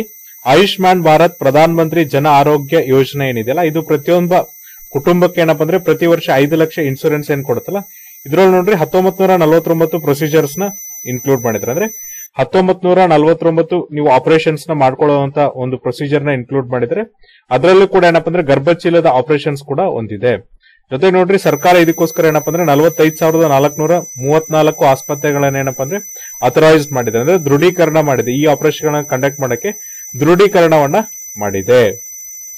ಹಾಗಾದ್ರೆ ಇಂಪ್ಲಿಮೆಂಟೇಷನ್ ಮಾಡ್ಬೇಕಾದ್ರೆ ಏನಾದ್ರೂ ಗ್ಯಾಪ್ ಇದೆ ಅಂದ್ರೆ? ಸೊ ನೋಡ್ರಿ ಗ್ಯಾಪ್ ಇದೆ. ಯಾಕಂದ್ರೆ ನಾವು ಒಂದು ಸಂಸ್ಕೃತಿಯಲ್ಲಿ ಬದುಕ್ತಾ ಇದೀವಿ ಆ ಸಂಸ್ಕೃತಿಯಲ್ಲಿ ಏನಪ್ಪ ಅಂದ್ರೆ ಗೈನಕಾಲಜಿ ಬಗ್ಗೆ ಮತ್ತೆ ಅದ್ರ ಬಗ್ಗೆ ಇರುವಂತ ಡಿಸಾರ್ಡರ್ ಅಂದ್ರೆ ಅದರಿಂದ ಆಗುವಂತ ರೋಗಗಳ ಬಗ್ಗೆ ಏನಪ್ಪ ಅಂದ್ರೆ ಔಟ್ಸೈಡ್ ಪ್ರೆಗ್ನೆನ್ಸಿ ಅಂದ್ರೆ ಪ್ರೆಗ್ನೆನ್ಸಿಯಿಂದ ಬಿಟ್ಟು ಆಗುವಂತ ಸಮಸ್ಯೆಗಳ ಬಗ್ಗೆ ಏನಪ್ಪ ಅಂದ್ರೆ ಏನು ಮಾಹಿತಿನೇ ಇಲ್ಲ. ಅಂತ ಒಂದು ಸೊಸೈಟಿಯಲ್ಲಿ ನಾವು ಬದುಕ್ತಿರ್ಬೇಕಾದ್ರೆ ಗ್ಯಾಪ್ ಖಂಡಿತ ಆಗತ್ತೆ ಅಂತ ಹೇಳಿ ಎಕ್ಸ್ಪರ್ಟ್ ಹೇಳಿದ್ದಾರೆ. ಇದ್ರ ಜೊತೆಗೆ ನೋಡ್ರಿ ಸುಪ್ರೀಂ ಕೋರ್ಟ್ ಇರ್ಬೋದು ಮತ್ತೆ ಕೇಂದ್ರ ಸರ್ಕಾರದ ಗೈಡ್ಲೈನ್ಸ್ಗಳು ಯಾವಾಗ ಬಂದಿದೆ ಅಂದ್ರೆ, ಈ ಒಂದು ಮನವಿ ಹೋಗಿತ್ತು ಸುಪ್ರೀಂ ಕೋರ್ಟ್ ಅಲ್ಲಿ. ಯಾರು ಫೈಲ್ ಮಾಡಿದ್ರಪ್ಪ ಅಂದ್ರೆ ಡಾಕ್ಟರ್ ನರೇಂದ್ರ ಗುಪ್ತಾ ಅನ್ನೋರು. ಇವರೊಬ್ರು ಪಬ್ಲಿಕ್ ಹೆಲ್ತ್ ಹೆಲ್ತ್ ಎಕ್ಸ್ಪರ್ಟ್ ಆಗಿದ್ದಾರೆ. ಇವರು ಒಂದು ಮನವಿಯನ್ನ ಮಾಡೋದಕ್ಕೋಸ್ಕರ ಈ ಗೈಡ್ಲೈನ್ಸ್ ಬಂದಿದೆ. ನೋಡ್ರಿ ಇವ್ರೇನ್ ಹೇಳ್ತಿದ್ರು ಅಂದ್ರೆ, ಕೆಲವೊಂದಿಷ್ಟು ಪ್ರೊವಿಷನ್ಸ್ ಇದ್ರೂ ಕೂಡ ಏನಪ್ಪ ಅಂದ್ರೆ, ಖಾಸಗಿ ಆಸ್ಪತ್ರೆಗಳು ಎಸ್ಪೆಷಲಿ ಎಲ್ಲಂದ್ರೆ ಬಿಹಾರ್, ಛತ್ತೀಸ್ಗಢ, ರಾಜಸ್ಥಾನದಲ್ಲಿ ಏನಪ್ಪ ಅಂದ್ರೆ ಈ ತರನಾದಂತ ಅನ್ಎಥಿಕಲ್ ಪ್ರಾಕ್ಟೀಸನ್ಸ್ನ ಮಾಡ್ತಾ ಇದೆ. ಜೊತೆಗೆ ಏನಪ್ಪ ಅಂದ್ರೆ ಅಲ್ಲಿ ಅನ್ನೆಸೆಸರಿ ಪ್ರೊಸೀಜರ್ಸ್ನ ಮಾಡ್ತಿದ್ದಾರೆ. ಅಂದ್ರೆ ಆ ಮಹಿಳೆಯರಿಗೆ ರಿಕ್ವೈರ್ಮೆಂಟ್ ಇಲ್ಲದೆ ಇದ್ರೂ ಕೂಡ ಈ ಒಂದು ಆಪರೇಷನ್ಸ್ನ ಮಾಡ್ತಿದ್ರೆ, ಜೊತೆಗೆ ಅವರಿಗೆ ಯಾವುದೇ ತರನ ಅಂತ ಮಾಹಿತಿಯನ್ನ ಕೊಡದೆ, ಅಂದ್ರೆ ಈ ತರನ ಅಂತ ಆಪರೇಷನ್ಸ್ನ ಮಾಡಿದ್ರೆ, ಗರ್ಭಚೀಲದ ಆಪರೇಷನ್ಸ್ನ ಮಾಡಿದ್ರೆ ಏನೆಲ್ಲ ಸೈಡ್ ಎಫೆಕ್ಟ್ ಆಗುತ್ತೆ, ಆ ಒಂದು ಮಾಹಿತಿನ ಕೊಡದೆ ಅವರಿಂದ ಒಪ್ಪಿಗೆಯನ್ನ ಪಡ್ತಿದ್ದಾರೆ. ಈ ತರನಾಗಿ ಮಾಡೋದ್ರಿಂದ ನೋಡ್ರಿ, ನೀವು ಅವ್ರಿಗೆ ಏನಪ್ಪಾ ಅಂದ್ರೆ ಸಾಂವಿಧಾನಿಕವಾಗಿ ಏನೊಂದು ಹಕ್ಕನ್ನ ಕೊಟ್ಟಿದೆ. ಎಸ್ಪೆಷಲಿ ಏನಪ್ಪಾ ಅಂದ್ರೆ ಅವರ ರೀಪ್ರೊಡಕ್ಟಿವ್ ಹೆಲ್ತ್ ಕೇರ್ ಏನಿದೆ. ಅಥವಾ ಒಬ್ಬ ಪ್ರತಿಯೊಬ್ಬ ಮಹಿಳೆಗೂ ಕೂಡ ಏನಪ್ಪಾ ಅಂದ್ರೆ, ಅವಳ ಒಂದು ರೀಪ್ರೊಡಕ್ಟಿವ್ ಅಥವಾ ಸಂತಾನೋತ್ಪತ್ತಿ ಆರೋಗ್ಯವನ್ನು ಏನ್ ಕಾಪಾಡ್ಕೋಬೇಕಲ್ಲ, ಏನ್ ಅದನ್ನ ಕಾನ್ಸ್ಟಿಟ್ಯೂಷನಲ್ ಆಗಿ ಕೊಟ್ಟಿದೆಯಲ್ಲ, ಅದನ್ನ ನೀವು ವೈಲೇಟ್ ಮಾಡ್ತಿದ್ದೀರಾ? ಇದ್ರ ಜೊತೆಗೆ ಆ ಮಹಿಳೆಯ ಒಂದು ಆರೋಗ್ಯದ ಹಕ್ಕನ್ನ, ಆಮೇಲೆ ಆ ಮಹಿಳೆಗಿರುವಂತ ಬಾಡಿ ಇಂಟಿಗ್ರಿಟಿ ಅಂದ್ರೆ ಅವಳ ಮಹಿಳೆ, ಅವ್ರಿಗೆ ಬೇಕಾದಂಗೆ ಇರ್ತಾರೆ. ಬಟ್ ಆ ಇಂಟಿಗ್ರಿಟಿ ಮೇಲೆ ಏನಪ್ಪಾ ಅಂದ್ರೆ, ಈ ಒಂದು ಪ್ರೈವೇಟ್ ಹಾಸ್ಪಿಟಲ್ಸ್ ಮಾಡ್ತಿರುವಂತ ಆಕ್ಷನ್ಸ್ ಇಂದ ಆ ಬಾಡಿ ಇಂಟಿಗ್ರಿಟಿ ಹಾಳಾಗ್ತಾ ಇದೆ, ಸಮಗ್ರತೆ ಹಾಳಾಗ್ತಿದೆ. ಸೊ ಅಂತ ಹೇಳಿ ಏನಪ್ಪಾ ಅಂದ್ರೆ, ಈ ಒಂದು ಡಾಕ್ಟರ್ ನರೇಂದ್ರ ಗುಪ್ತಾ ಅವರು ಪೆಟಿಷನ್ಸ್ ಅಲ್ಲಿ ಹೇಳಿದ್ರು. ಈ ತರನಾಗಿ ಗರ್ಭಚೀಲದ ಆಪರೇಷನ್ಸ್ನ ಮಾಡೋದ್ರಿಂದ ನೋಡ್ರಿ ಅವರಿಗೆ ಬಹಳ ಸಮಯದವರೆಗೂ ಏನಪ್ಪಾ ಅಂದ್ರೆ ಗಾಯಗಳಾಗತ್ತೆ ಮತ್ತೆ ಡಿಸಬಿಲಿಟೀಸ್ ಕೂಡ ಬರುತ್ತೆ, ಅಂದ್ರೆ ವಿಕಲಾಂಗತೆ ಕೂಡ ಬರುತ್ತೆ. ಹಾಗಾಗಿ ಏನಪ್ಪಾ ಅಂದ್ರೆ ಪೋಸ್ಟ್ ಆಪರೇಷನ್ಸ್ ಆದ್ಮೇಲೂ ಕೂಡ ಬಹಳಷ್ಟು ಕಾಳಜಿಯನ್ನ ವಹಿಸ್ಕೋಬೇಕಾಗತ್ತೆ. ಆದ್ರೆ ಅವುಗಳನ್ನ ಬಹಳಷ್ಟು ಜನ ಏನಪ್ಪಾ ಅಂದ್ರೆ ಅಫೋರ್ಡೆಬಲ್ ಮಾಡುವಂತ ಪರಿಸ್ಥಿತಿಯಲ್ಲಿ ಇರೋದಿಲ್ಲ. ಇನ್ನೂ ಕೆಲವೊಂದಿಷ್ಟು ಕೇಸಸ್ಗಳಲ್ಲಿ ನೋಡ್ರಿ, ಈ ಒಂದು ಗರ್ಭಚೀಲದ ಆಪರೇಷನ್ಸ್ನ ಮಾಡೋದ್ರಿಂದ ಏನಪ್ಪಾ ಅಂದ್ರೆ ಮಹಿಳೆಯರಿಗೆ ಪೋಸ್ಟ್ ಸರ್ಜರಿ, ಅಂದ್ರೆ ಈ ಶಸ್ತ್ರಚಿಕಿತ್ಸೆ ಆದ್ಮೇಲೂ ಕೂಡ ಏನಪ್ಪ ಅಂದ್ರೆ ಅಡಿಷನಲ್ ಸರ್ಜರಿ ಅಥವಾ ಇನ್ನೊಂದು ಸರ್ಜರಿ ಮಾಡುವಂತ ಅವಶ್ಯಕತೆ ಇರುತ್ತೆ. ಇನ್ ಕೇಸ್ ನೋಡ್ರಿ ಅವ್ರಿಗೆ ಏನಾದ್ರೂ ಪೆಲ್ವಿಕ್ ಫೈನ್ಸ್ ಇದ್ರೆ, ಇವುಗಳನ್ನ ಏನಪ್ಪಾ ಅಂದ್ರೆ ಕೇವಲ ಗರ್ಭಚೀಲದ ಆಪರೇಷನ್ಸ್ ಮಾಡೋದ್ರಿಂದ ಸಾಲ್ವ್ ಮಾಡಕ್ಕಾಗಲ್ಲ ಅಂತ ಹೇಳಿದ್ರೆ, ಇದ್ರ ಜೊತೆಗೆ ನೋಡ್ರಿ ಇನ್ನೂ ಕೆಲವೊಂದಿಷ್ಟು ಕಡೆ ಏನಪ್ಪ ಅಂದ್ರೆ ಮೆಡಿಕಲ್ ಸಪೋರ್ಟ್ ಬೇಕಾಗುತ್ತೆ. ಇನ್ನೊಂದ್ ಕಡೆ ಏನಪ್ಪಾ ಅಂದ್ರೆ ರಿಪ್ಲೇಸ್ಮೆಂಟ್ ಥೆರಪೀಸ್ ಅಂದ್ರೆ ಹಾರ್ಮೋನ್ ರಿಪ್ಲೇಸ್ಮೆಂಟ್ ಥೆರಪೀಸ್ನ ಮಾಡ್ಬೇಕಾಗತ್ತೆ. ಆದ್ರೆ ಈ ಇಂಟರ್ವೆನ್ಷನ್ಸ್ ಏನಿದೆ ಅಂದ್ರೆ ಇಷ್ಟು ಕಾಳಜಿನ ಯಾರು ವಹಿಸ್ತಾರಪ್ಪ ಅಂದ್ರೆ ಯಾರೆಲ್ಲ ಪ್ರೈವೇಟ್ ಹಾಸ್ಪಿಟಲ್ ಅಫೋರ್ಡೆಬಲ್ ಮಾಡ್ತಾರಲ್ಲ ಅವ್ರು ಮಾತ್ರ ವಹಿಸ್ತಾರೆ. ಆದ್ರೆ ಯಾರೆಲ್ಲ ನೋಡ್ರಿ ಈ ಒಂದು ಕೆಳಮಟ್ಟದ ಅಥವಾ ಲೋ ಇನ್ಕಮ್ ಗ್ರೂಪ್ ಗಳಿದೆಯಲ್ಲ ಅವ್ರಿಗೆ ಅದೇನಾಗಿರುತ್ತೆ ಅಂದ್ರೆ ಅನ್ಅಫೋರ್ಡೆಬಲ್ ಆಗಿರುತ್ತೆ ಅಂತ ಹೇಳಿ ಡಾಕ್ಟರ್ ನರೇಂದ್ರ ಗುಪ್ತಾ ಅವರು ಆರ್ಗ್ಯೂ ಅನ್ನ ಮಾಡಿದ್ದಾರೆ. ಹಾಗಾಗಿ ನೋಡ್ರಿ ಗರ್ಭಚೀಲದ ಆಪರೇಷನ್ಸ್ ಏನ್ ಮಾಡ್ತಾರಲ್ಲ ಅದನ್ನು ಕೂಡ ತುಂಬಾ ನಿಯಂತ್ರಣ ಮಾಡಬೇಕು. ಕೇವಲ ಪ್ರೈವೇಟ್ ಹಾಸ್ಪಿಟಲ್ಸ್ ಅವ್ರು ಏನಪ್ಪಾ ಅಂದ್ರೆ ನಮಗೆ ಹಣ ಬರುತ್ತೆ ಇನ್ಶೂರೆನ್ಸ್ ಮಾಡಿ ಹಣ ಬರುತ್ತೆ ಅಂತ ಆಪರೇಷನ್ಸ್ನ ಮಾಡಬಾರ್ದು. ಇದ್ರ ಜೊತೆಗೆ ಏನಪ್ಪ ಅಂದ್ರೆ ಮಹಿಳೆಯರಿಗೆ ಈ ಗರ್ಭಚೀಲದ ಆಪರೇಷನ್ಸ್ನ ಮಾಡೋದ್ರಿಂದ ನಮಗೆ ಇರುವಂತ ಸಮಸ್ಯೆಗಳೆಲ್ಲ ಸಾಲ್ವ್ ಆಗುತ್ತೆ ಅನ್ನೋದಕ್ಕಿಂತ ಮುಂಚೆ ಅವರು ಕೂಡ ಏನಪ್ಪಾ ಅಂದ್ರೆ ತಿಳ್ಕೊಬೇಕು. ಮತ್ತೆ ಅವ್ರಿಗೂ ಕೂಡ ಏನಂದ್ರೆ ಸರ್ಕಾರದವರು ತಿಳಿಸ್ಬೇಕಾಗತ್ತೆ. ಈ ಗರ್ಭಚೀಲದ ಆಪರೇಷನ್ಸ್ನ ಮಾಡಿದ್ರೆ ಇದರಿಂದ ಆಗುವಂತ ಸೈಡ್ ಎಫೆಕ್ಟ್ಸ್ ಏನು, ನಿಮ್ಮ ದೇಹದ ಮೇಲೆ ಯಾವ ತರನಾಗಿ ಪರಿಣಾಮ ಬೀರುತ್ತೆ ಅಂತ ತಿಳಿಸಿ, ಆಮೇಲೆ ಕನ್ಸರ್ನ್ ತಗೊಳ್ಳೋದ್ರಿಂದ ನೋಡ್ರಿ, ಬಹಳಷ್ಟು ಮಹಿಳೆಯರು ಏನ್ ಮಾಡ್ತಾರಪ್ಪ ಅಂದ್ರೆ ಅವಾಯ್ಡ್ ಮಾಡ್ತಾರೆ. ಅದರಿಂದ ಆಗ್ಬಹುದಂತ ದುಷ್ಪರಿಣಾಮಗಳು ಕೂಡ ಕಮ್ಮಿ ಆಗುತ್ತೆ. ಸೊ ಇದು ಏನಪ್ಪ ಅಂದ್ರೆ ಇವತ್ತಿನ ಒಂದು ಹಿಂದೂ ಅನಾಲಿಸಿಸ್ ನಾಳೆ ಮತ್ತೊಂದಿಷ್ಟು ಆರ್ಟಿಕಲ್ಸ್ ಮತ್ತೆ ಎಡಿಟೋರ್ ಡಿಸ್ಕಸ್ ಮಾಡೋಣ. ಅಲ್ಲಿವರೆಗೂ ನೋಡ್ತಾ ಇರಿ classic education YouTube channel thank you